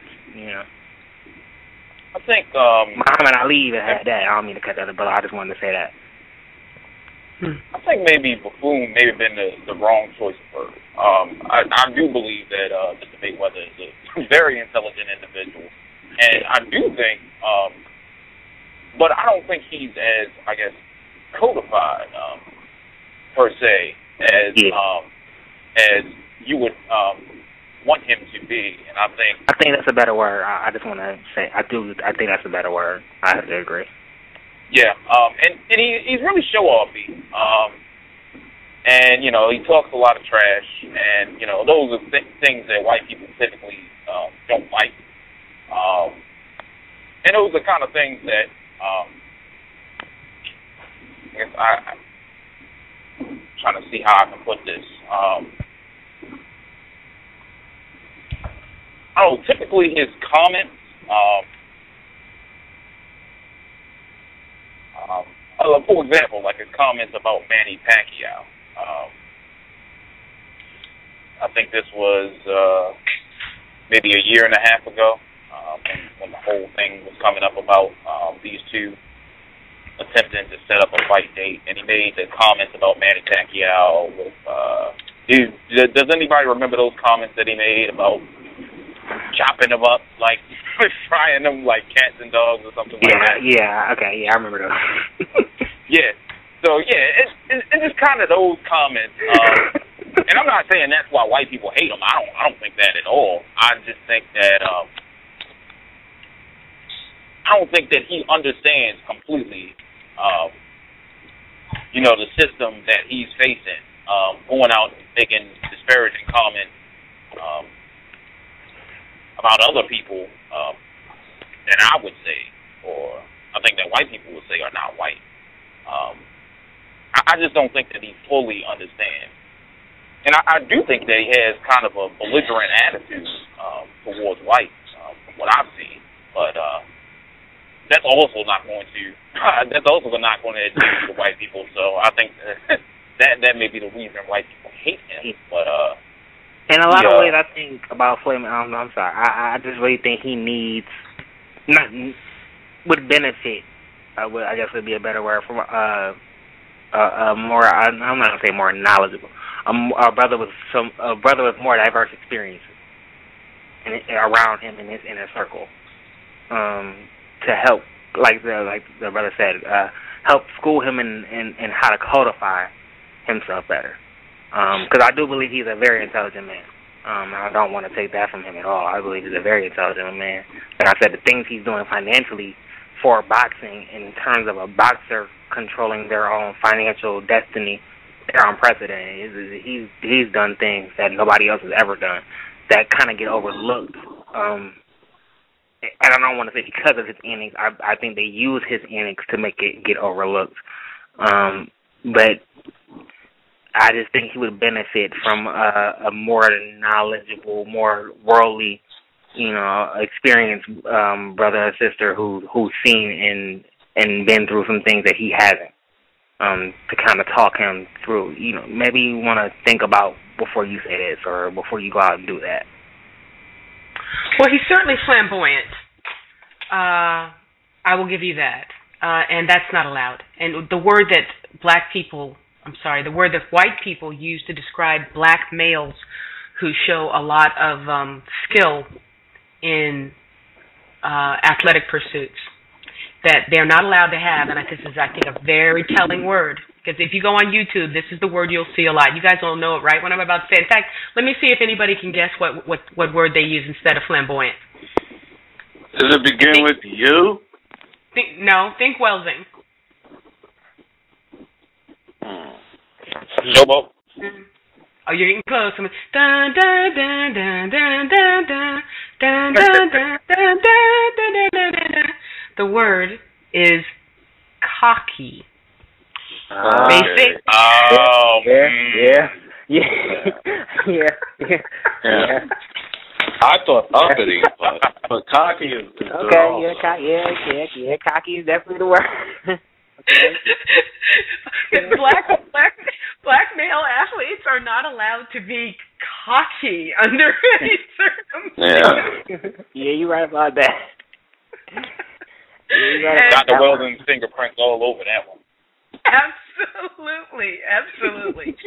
um, and he certainly he is certainly that. And you know, I noticed that um my husband's a big UFC uh uh fan. In fact, he's off to go see um new guy Overeem fight some white guy tonight. And uh and so because he's such a big fan of it, you know, I've had to watch untold hours of it or at least observe it. And uh and I've noticed that UFC has kind of a it's real, but it has kind of a WWF feel to it and yeah. that the whole idea of it is to be cocky. You know, so when the white guys win, they're ah! You know, they jump up on the cage and they're ah! if a black guy does anything like that, he is just roundhousely booed. And so it's like these guys win fights like uh the black guy Anderson Silva, um Jon Jones after they win they literally and it's totally unnatural for testosterone because testosterone is an animating chemical. Uh-huh. It makes you assertive and aggressive. It's totally unnatural to have that force running through you and then as soon as you've done this and just hammered this other guy into the ground to go onto your knees in a prayer like meek stance. You know but that's what they have to do in order to just be tolerated and not kicked out of you know the ring. Jon Jones which again I know all this stuff because you know if I'm going to spend time with him, I got to do some of the stuff he wants to do. So I have to you know uh, do this stuff. And and so for me, look at the you know the racial politics of it. And um, Jon Jones actually has this white girlfriend with whom he has two offspring. He hasn't married her for whatever reason, and he has a tattoo across his chest. It's a Bible quotation, and he tries to be the meekest you know, most unthreatening, uh, but he doesn't. But the problem is he doesn't smile enough. He doesn't laugh enough. He's not silly enough. And so even though he goes to his knees and he's meek and he talks about white Jesus all the time, uh, they boo him. And when he when when he's asked, well, why do people boo you? You know, he can't ever say, oh, it's because I'm black. He always has to say, oh, well, it doesn't matter as long as they're reacting to me at all, you know. Um, but it's back on this this boxing issue. See, this is where I think it becomes more complex because I, I guess I would start with this.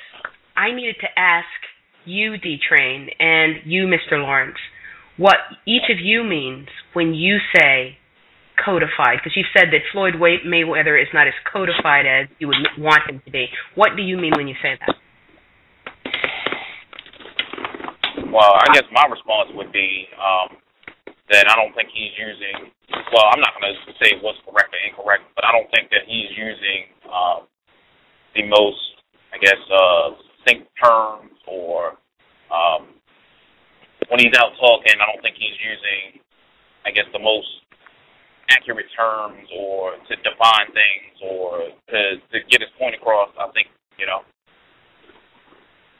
white people um, just kind of see it as, and, and I kind of see it as just kind of chest thumping um, and I guess that's what I would say is, you know, for him to take it down a notch, realize, you know, we're in the system, you know, and um, to act accordingly. Um, and that's not to say that he shouldn't be, I guess, proud of his accomplishments because I, I think he's accomplished a great deal. I just think that um, part of he's your. portraying. Oh, I'm sorry. Go ahead. No, it was me. Uh, I'm sorry. It, it looked like I dropped. Please go on. Oh, um, I don't know. I just, I just think of a loud, boastful person on the plantation when I when I see Floyd, and I'm just like, Uh. well, we're still on the plantation. I see. Um, Okay. And my only thing I would like to add to that is, um, you know, I, if he, um, he being familiar, if he is um aware of the complete, you know, kind of scrutiny that comes to him being who he is, um, given what he may do or may not do, then I believe that's one thing. Um, I just want him to be aware of, uh, just for like for instance, with his situation, you, he cannot be as boisterous as he is, and then make that mistake, which gives him 90 days in jail. Um, that will only be used to attack him. So if he's going to be who he is and be that boisterous person, if that's who he truly is, I'm not gonna say play change, but he needs to be aware that him being that person needs needs to hold him to an even higher standard. And though that may not be fair, that is the world we live in. He needs to realize I'm not going to make a mistake that that's going to make it that much easier because they're going to attempt to bring me down anyway. They're never going to really see me as an equal. So I need to watch my steps, and that's all I really want him. I don't want to read my paper, pick up my paper one day, and see Floyd Mayweather in this drama or that drama, or he got 18 months for slapping some woman or something like. I don't want to see that with him, with a brother who's doing so well in so many other areas of life. So I just want to make sure that he, you know, knows, it, from my personal opinion, that he has made it in a sense. But that's like the other man said, we're still on the plantation, and you have to watch your step, um, or they'll take everything from you. Michael Vick, Okay. an example. So that if I could uh, just uh, kind of rephrase it so that I understand it, and if you can tell me if I'm understanding what you're saying, um, each of you, I, and, and it seems like you you're saying similar, if not the same thing, which is that you don't think that he says and does the most. He, he doesn't try. He doesn't understand the importance of saying and doing the most correct thing that he can do under conditions dominated by racism, white supremacy as a victim of that system. Would that would that be a correct restatement?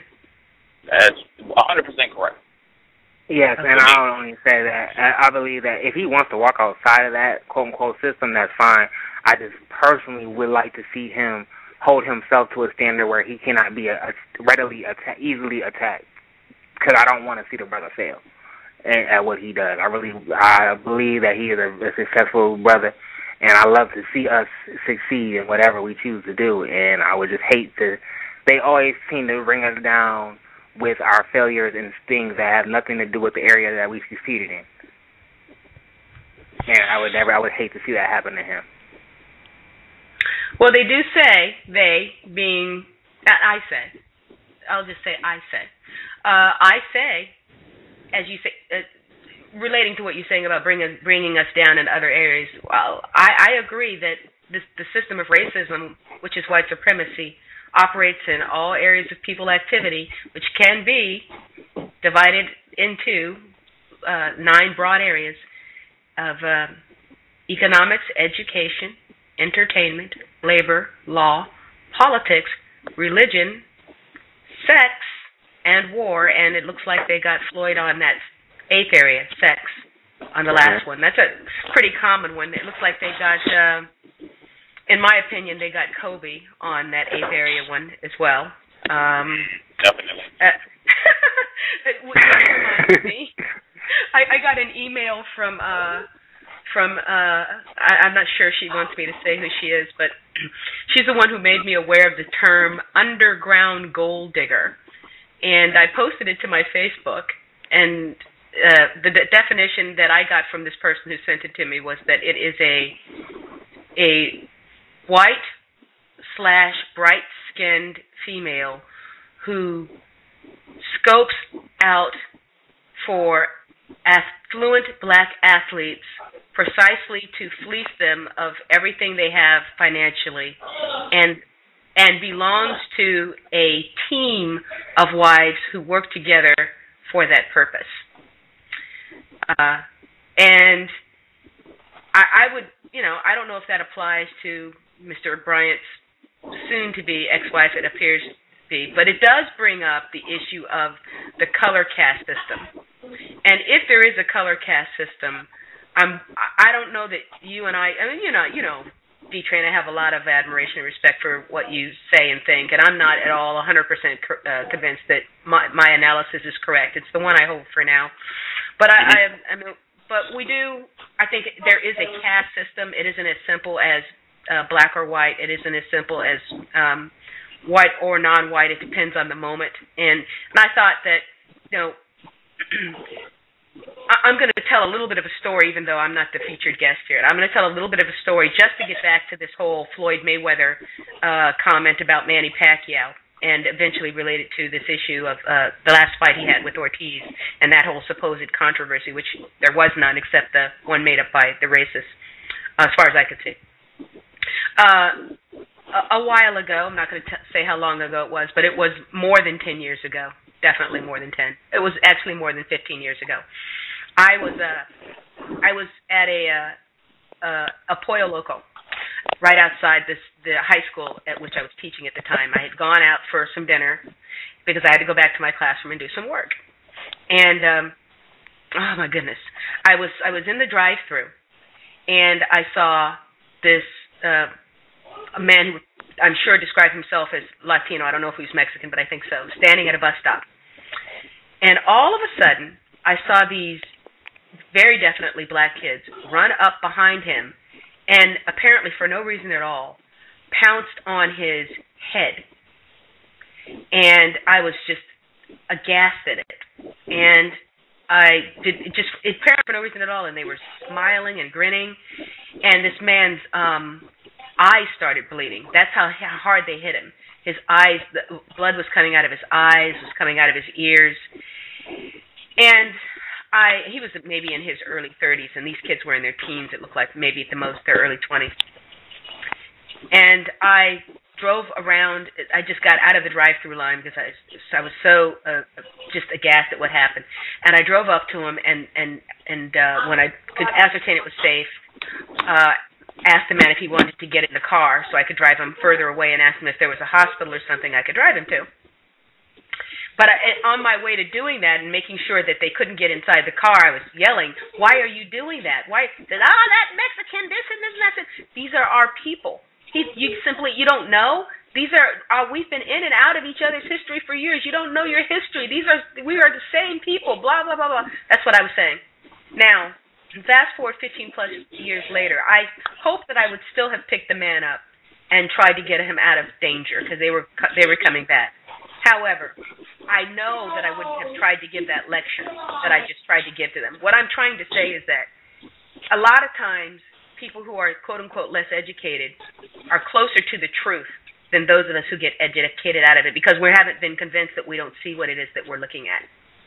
And I think that what these young black kids, even though the reaction to it was incorrect, Okay, I think that what they were seeing, and maybe what Floyd Mayweather was saying when he was saying that you know whole ch- the the cats and dogs thing, or when he's fighting a Hispanic fighter, he puts on Mexican music and puts on a sombrero and stuff, is that he's recognizing that in the color caste system, relative to him, he is I would say, relative to him, they, those people are white and they mistreat him on the basis of color.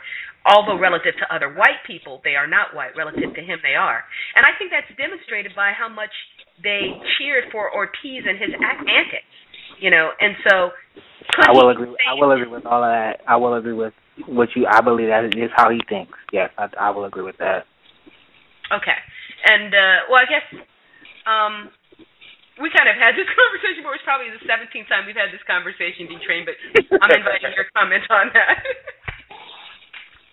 mm-hmm. um, like like I said, I I definitely think that's a rational, logical um, point of view of looking at things. I don't know if it's the, the I guess the only way. Um,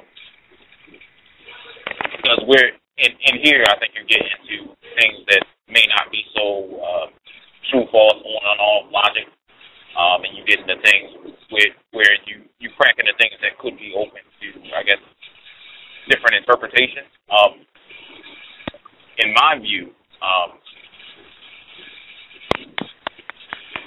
I, I can see what you're saying, um, definitely, because when Ortiz and Mayweather fought, um, the white people cheered for Ortiz. Um, so Ortiz, obviously, politically, is lighter than Mayweather. Um, but also, you could you could flip that script, and you can say that there are other factors that play into uh, this this caste system. Like when uh, about 40 years back, when Ali fought uh, uh, the gentleman that just died, uh, Frazier. Frazier, yes, exactly. When Ali fought Frazier, and the white people supported Frazier. Um, you Ali was obviously. I, I think.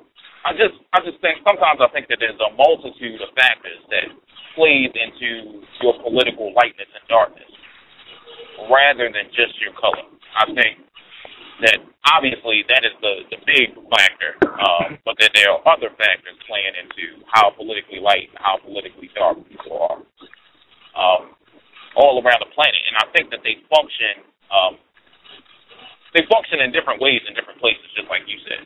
Uh, so I do agree with you that it probably wasn't worth your time uh, to try to give those black males, um, you know, that lecture on, you know, these are, you know, we're all the same people, you know, blah blah blah. I, I definitely agree with that point, um, and I do think that it's um, important to recognize that people, so-called Latinos, um, even some Black Latinos, um, as we, we talked about earlier uh, with Albert Pujols.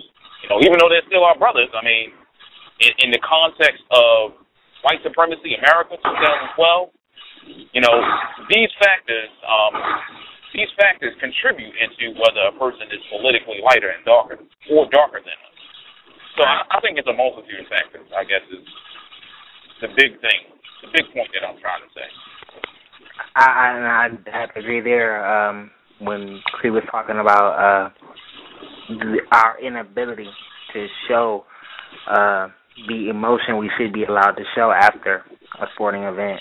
Um, it's not even just limited in my mind to black. I know it's not limited to just black males. I remember the uh, scrutiny Brandi Chastain came under in the World Cup when she ripped off her soccer uniform um, after she scored the game-winning goal uh, for the women's World Cup team. It was a white woman, but she was told immediately when she did that, that's not what white women do. Are you crazy? Did you did you do what? So, eh, like you said, the the it's sometimes some of those things pop up in a moment. Um, I believe, you know, I I really believe that Floyd Mayweather, um, and him in particular, does his best to. I, I believe, like Chris said, in his mind, he looks at it like you know, in this hierarchy, I'm more. I, I hate to say it, but I'm more of a nigger than this uh than Pacquiao is, and I'm because that's how they're treating me, and you know, and that's why. And I'm not saying that he's wrong in how he's seeing it and how he's perceiving it, um, because I can see why he perceives it that way. I just like and I like I he very I, well may be he very well well, well may be correct. I'm Correct, definitely right. not. Yeah, I'm definitely conceding that. Yeah, yeah, I mean, you know, that's why I, I guess that's why I said, like I said earlier, I just uh, pray that he, in life, in in all facets of life, walks carefully because he upsets people by being free to a level that most of us aren't. Um, and I, from what I've always been witnessed, and from what my parents who are, you know, in their sixties, they've always told me, when a black person starts to live a, a freeness in their life, that rubs them right a lot of right people, uh, a lot of white people the wrong way, and makes you a target. Oh, because the whole yes, absolutely. Your parents are absolutely correct because the whole purpose of the system is to confine us. It's a prison. That's the whole point. so, uh, so, so if you're if you if you seem to be uh, escaped or at perhaps behaving as if you're free, you you must be captured and put back in prison, the prison of white supremacy, and that may be literal. You know, they may actually right. put you behind bars. Uh, and in fact, LBM and I, on a very recent program, she actually had to school me about, you know, you'd think it, it, at this point in my life I'd know better, but that's something that my parents were lax and did not school me on. I don't, and I said at the time, I don't think they knew that um, I'm not allowed to show peace, act as if I feel I'm at peace. Peace will be disturbed, which means that you can't be too happy you can't be too serious. You have to look like you. I, I mean, I can completely. Uh, I, I can only say that my mother was born and raised in Mississippi. From day one of my life, I was told as a black man, you never walk out of the house and appear too happy or too sad. You're kidding. Your parents told you that explicitly. I mean, my really? mother. I mean, I can I can, I can say that with you know with full confidence. My mother is the youngest of eight children, and she's born in 1950, so she grew up going and seeing the photos of Emmett Till published in the magazine and knowing boys that had gotten hung and stuff like that. So in her mind, uh, you know, a black man was never, never supposed to go out in that world and be too up or too down. Too down, they'll find a reason to push you down further. Too up, and they'll find a reason to knock you down.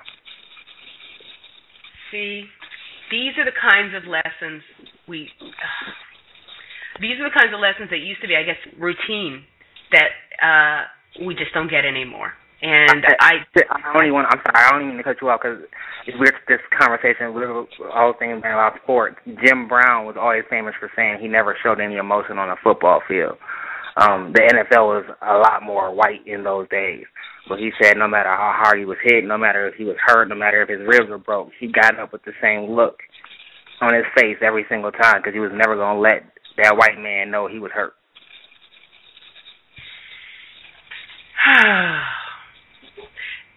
you know, and yet even that takes a toll because it's it not. Because we're, we're not that's built the for that. conditions they play under. It's they're not. allowed. They're allowed to, to to show pain, to show. You know, I mean, you like you said that you have to believe it takes its toll. Jim Brown played nine years in the NFL. Yeah, I'm sure it took its toll. Hmm. Okay. I've run out of sports topics, so if you guys have some, go ahead. But yeah. Uh, okay, I have one. Uh, it's something me and Gus discussed, as well as I discussed this with other people. Uh, this is the first year anniversary, of my opinion, of the most of the worst yet most obvious white supremacist decision in sports history. I'd just like to know what did each of you feel when Sylvester Stallone was inducted into the Boxing Hall of Fame? what? yeah, man. Yeah. And White and people mind you, clowned. he met he met there was very little anger White folks about been looking, this. white folks been looking for Rocky Marciano for about fifty, sixty. so I guess they figure, you know, a made up one would do. I don't know. I'm gonna put that as my Facebook status. You know, when That's the best question I've heard all now. You know, no more. when when I heard that you know, you you hear something, you're just like, nah, this this can't be for real. This this this is not true. This is a gag, right? I thought it was. I thought it wasn't serious. I I thought it was a joke. I, I honestly did. I didn't think it was serious until I actually saw the induction, and I, I really I don't have think- anything to say.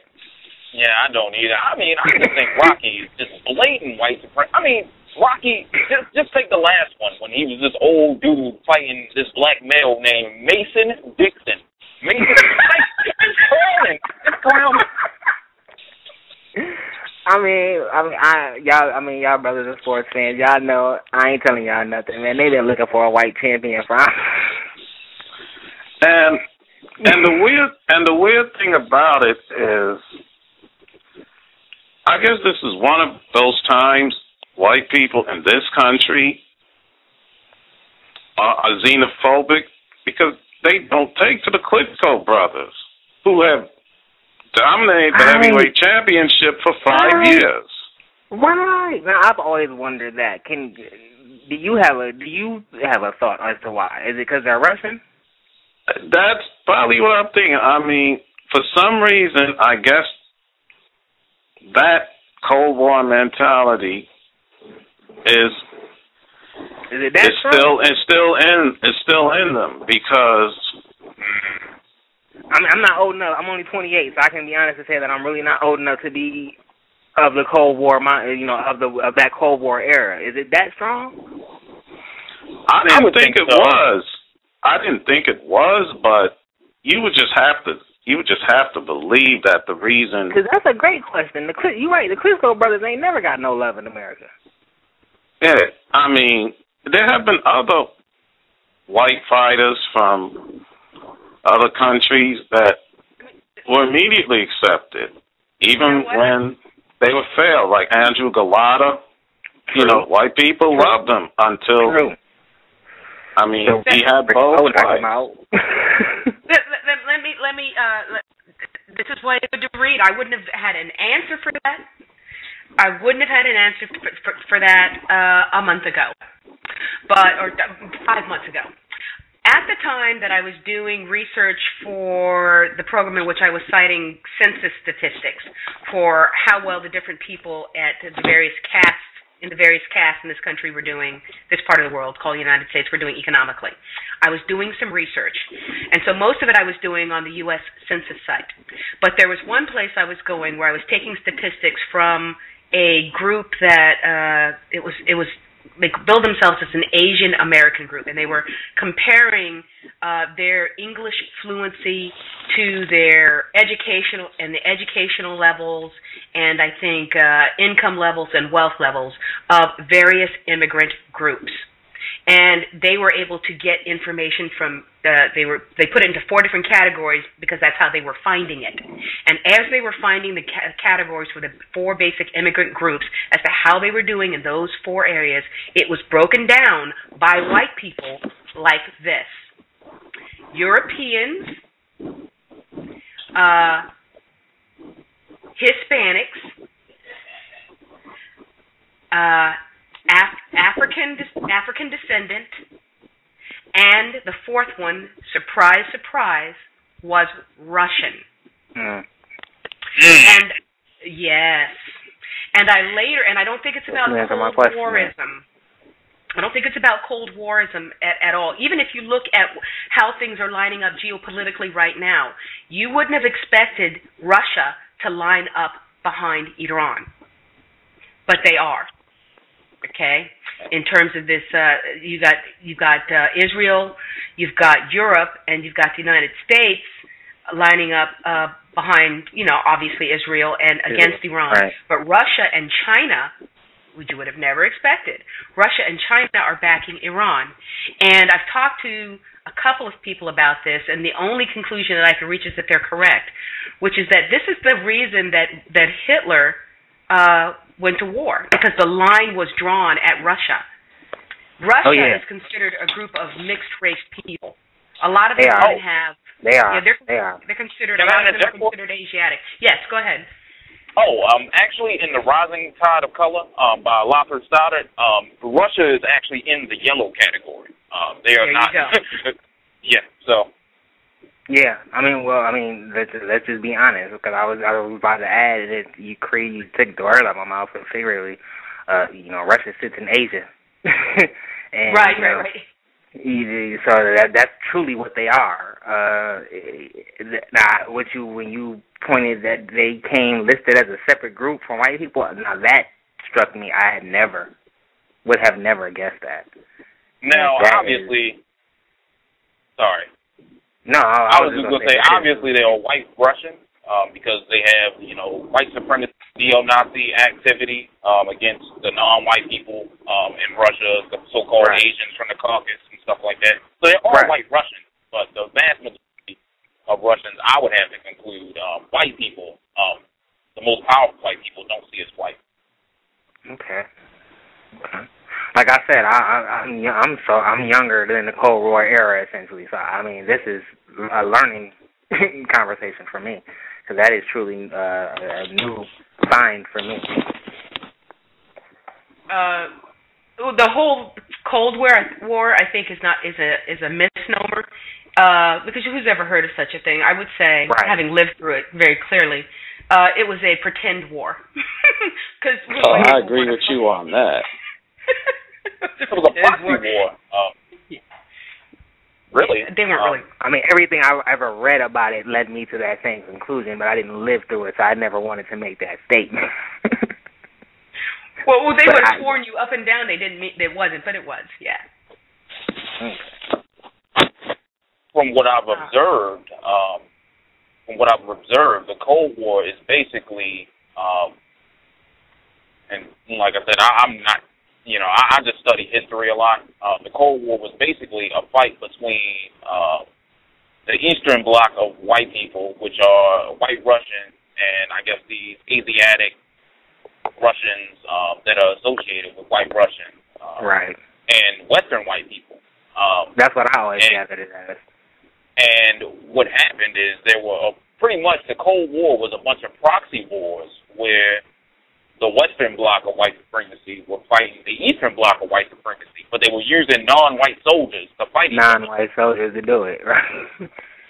yeah, that's, so that's Vietnam, what I Vietnam, Korea, um, Central America, places in Africa, uh, Cuba. All of these were related to the Cold War, and all of these places um, had uh, were countries with populations where with large numbers of people who I would say, um, I, I think even the the Russians would say, and that the Western white people would say were not white. Right. Okay. And in fact, they were fighting over control of those people. That's really what it was about. It was about a turf war. And, and that's always the sense I kind of got. I just I just need to know from somebody who lived through it whether or not that sense was accurate. Well, I lived through it, and uh, I, I would say your sense is accurate. I would say that. And I also wanted to say, uh, D-Train, that I agree with you that there are a number of factors that go into. Uh, and I thought that the example that you gave about Ali versus Frazier was was an excellent one to demonstrate that the factors that go into determining who's white and who's not white um, are are multiple and uh, obviously skin color and facial characteristics are a big part, but they're not the only one. And in fact, someone said we're kind of getting away from the sports thing again. So if somebody can help bring it back to it, I'd, I'd certainly appreciate it. I want to try to be crisp and and and uh, consistent. But someone had said, but but but then again, the main thing I always want to discuss is the system of racism, white supremacy, and how to counter it.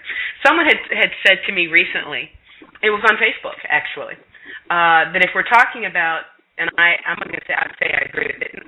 Not it's, hmm, it's on the borders of it, but the borders are important because they define something.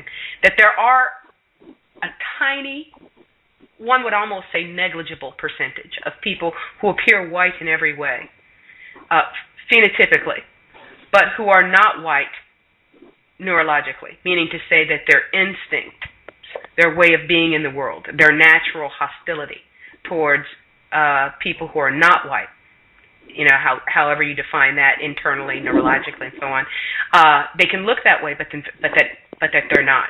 If somebody proposed that this is this is kind of dealing with sports. It's not really sports, but it's entertainment.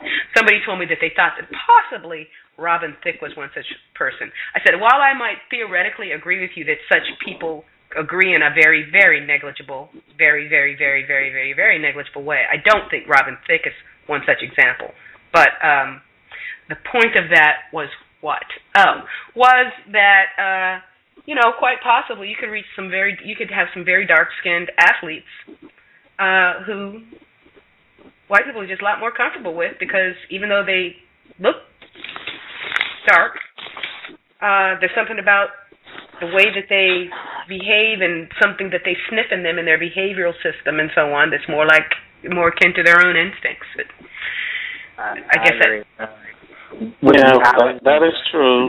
The uh, perfect example of that was Kobe Bryant prior to the uh, rape charges. You know, yeah, definitely.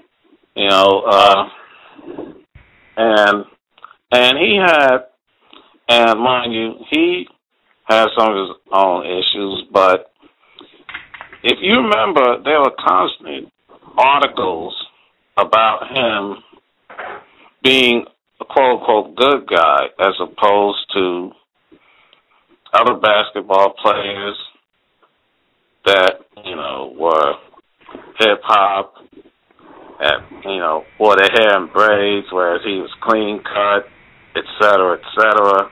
Stuff like that. Then the rape allegations, or in my opinion, the setup between Katelyn Faber and her boyfriend on him, that happened. And the press conference immediately after that he gave was, was very telling. I'll never forget it. He pleads his case, he's innocent, has his wife next to him. And then he makes the statement Y'all know me.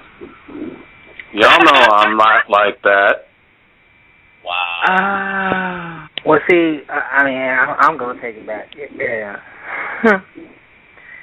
Kobe Bryant was warned years before that rape.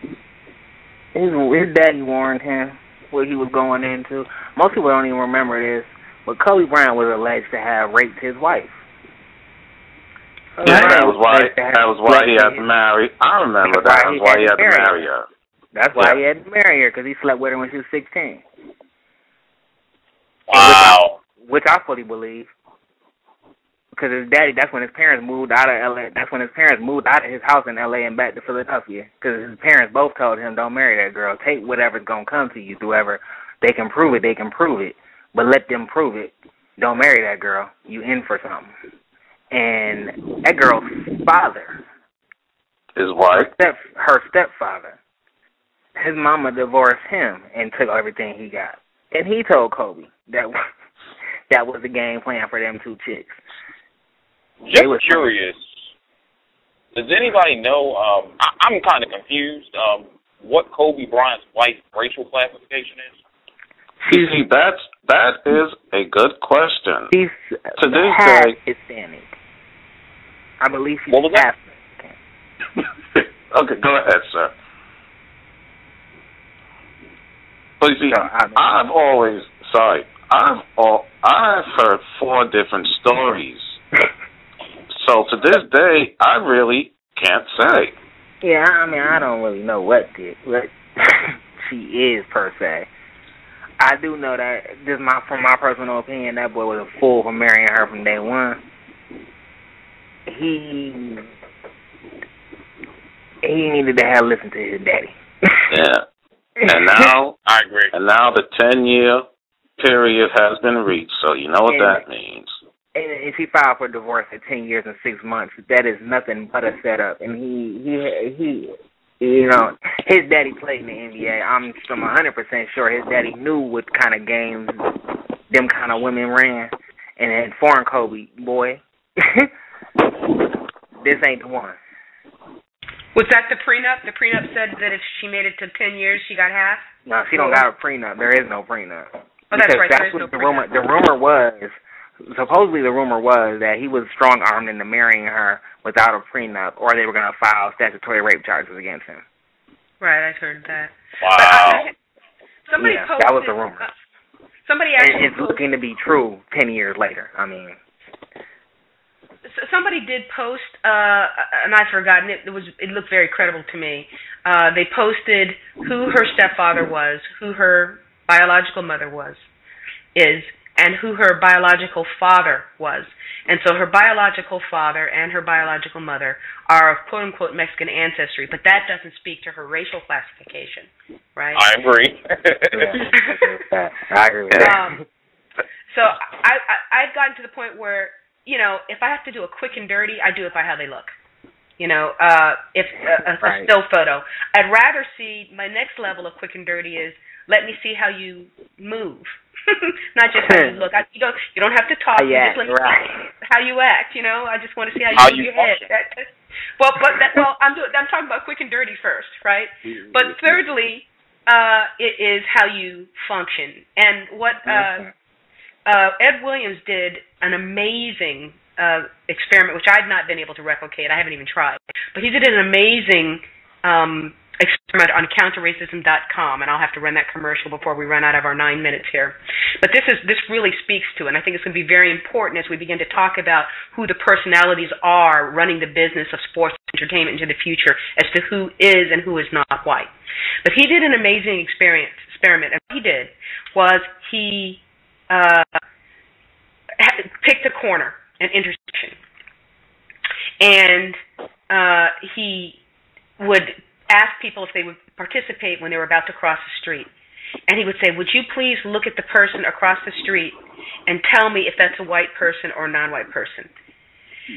And uh, then when the person would come across the street, uh, the person would either identify themselves as white or non white, and then there would also be somebody on the other side who was a white person who would say whether or not this person was white or non-white. So you had to have uh, the corroboration. The person had to identify themselves as white, and then there would be a person across the street who would either corroborate or not corroborate that the person was white or non-white. If you got the corroboration, the person was white. Now, that having been said, if that was clear, is that clear so far?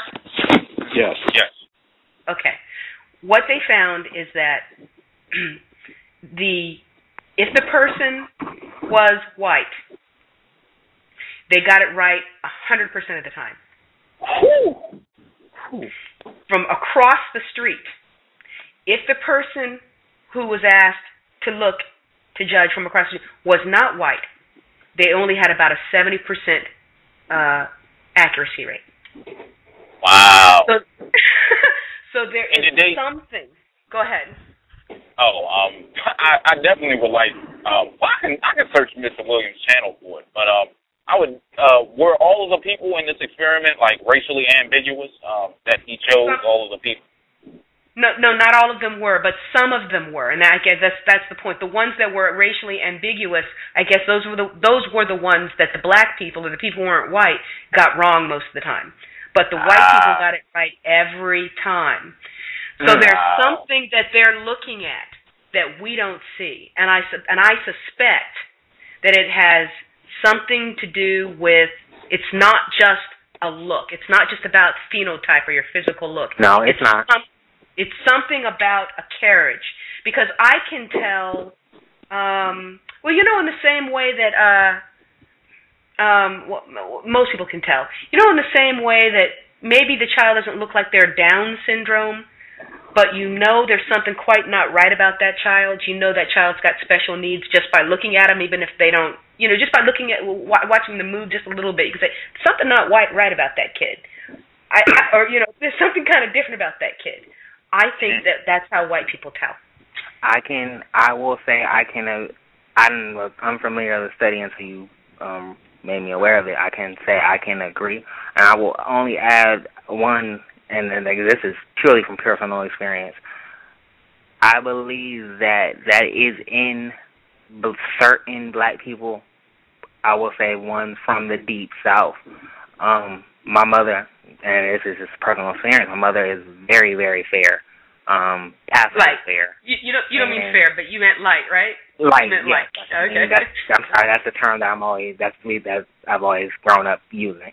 Um, Right. but light, she's very light skinned, and um, and she is the lightest of her sisters. She has eight sisters. She's the lightest of them. Her mother was even lighter than her. Her mother, to the eye, looked white. Um, my mother has always said you, what that what essentially what Ed Williams study is that you know white folks can always tell when when they ain't a white person, and black folks are always the ones struggling to figure out who mixed and who this and who that and that.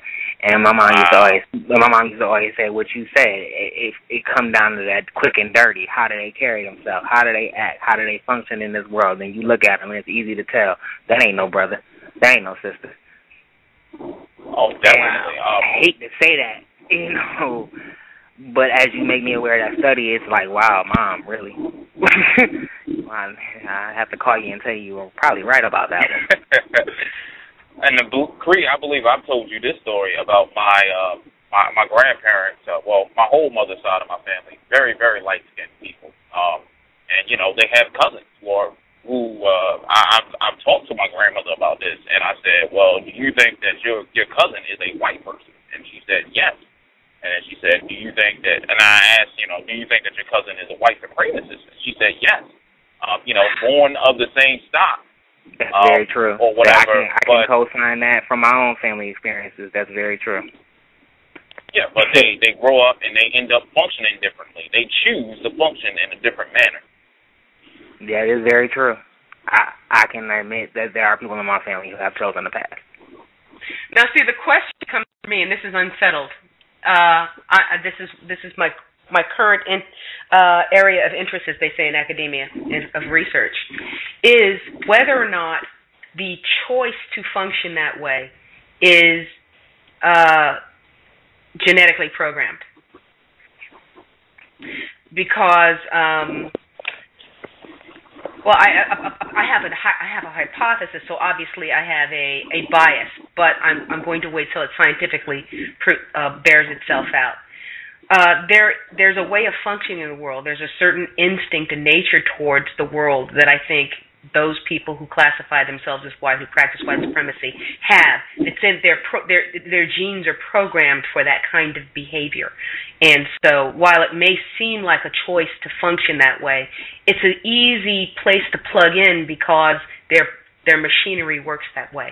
And it and and as you say, it can come from the same stock because DNA can re, do what's called recombination. So you've got a lot of genes floating around, including genes that determine personality and behavior and so on. And so it can recombine uh, it in one way in one offspring and in another uh, in another offspring. And it, it's rare, but it's but by the same token, you know, you've seen those those twin studies where you've got these fraternal twins where one child comes out phenotypically white and with the behavior of white of a white child. And you can see that behavior at 3 years old. I think these uh if you look at the uh I think it's called the Leiden Leiden Caden, something like that. They're in the UK uh, study, and not only does the one child look white, but as she begins to to describe his behavior, it is very much like a white person, like a white child, like a white supremacist, and it's at three or four years old, and the and the and the and the black child be, behaves as, a child, like a black black kid. So I I don't know how much of that even even even if they come from the same mother and father, the way the genes can recombine can cause, I think, different type of behavior. So for me, ultimately, it does come down to behavior. It does come down to behavior. Uh, it that I'm not going to spend a lot of time waiting to see how they behave before I decide if they're white. If I if you if I if you could be white and I don't have time to see, you know what I mean? I'm gonna I'm gonna just I mean you're white. I'm sorry, that's the way it goes. But uh but there are times when it's you know if if you if you hang around long enough, I can tell whether or not uh you're white or not. I can't do it as fast as a white person, obviously. Um, right, and and and, and I, I no longer. You know, I'm trying to get. I'm trying to stop calling them white people. I, I'm I, I'm coining my term. I'm using my term oxyhominoid. Yeah. So I I can't tell an oxyhominoid as quickly as another oxyhominoid, but um. M1, you've been really good at tying the tying the threads together and making it relate to the topic of the program. So, I'm I'm asking if you can do it now before we go out. Oh, we've only got 40 seconds. You know what? I'm going to have to. Th- I had no idea I took that, that much time talking. Let me thank our guest tonight, Richard Lawrence, a sports management professional. Please check out his uh, his Facebook page, Young, Black, and Married. It's linked on the episode page. Thank you, M1, always a fantastic and uh, thoughtful supporter and participant. And D Train, same thing here. And please check out his show, Reckless 2.0. You can find that in the search field at Blog Talk Radio. Uh, for Saturday, December 24th, this has been the Counter Racist Evolving Engineer Show, signing out.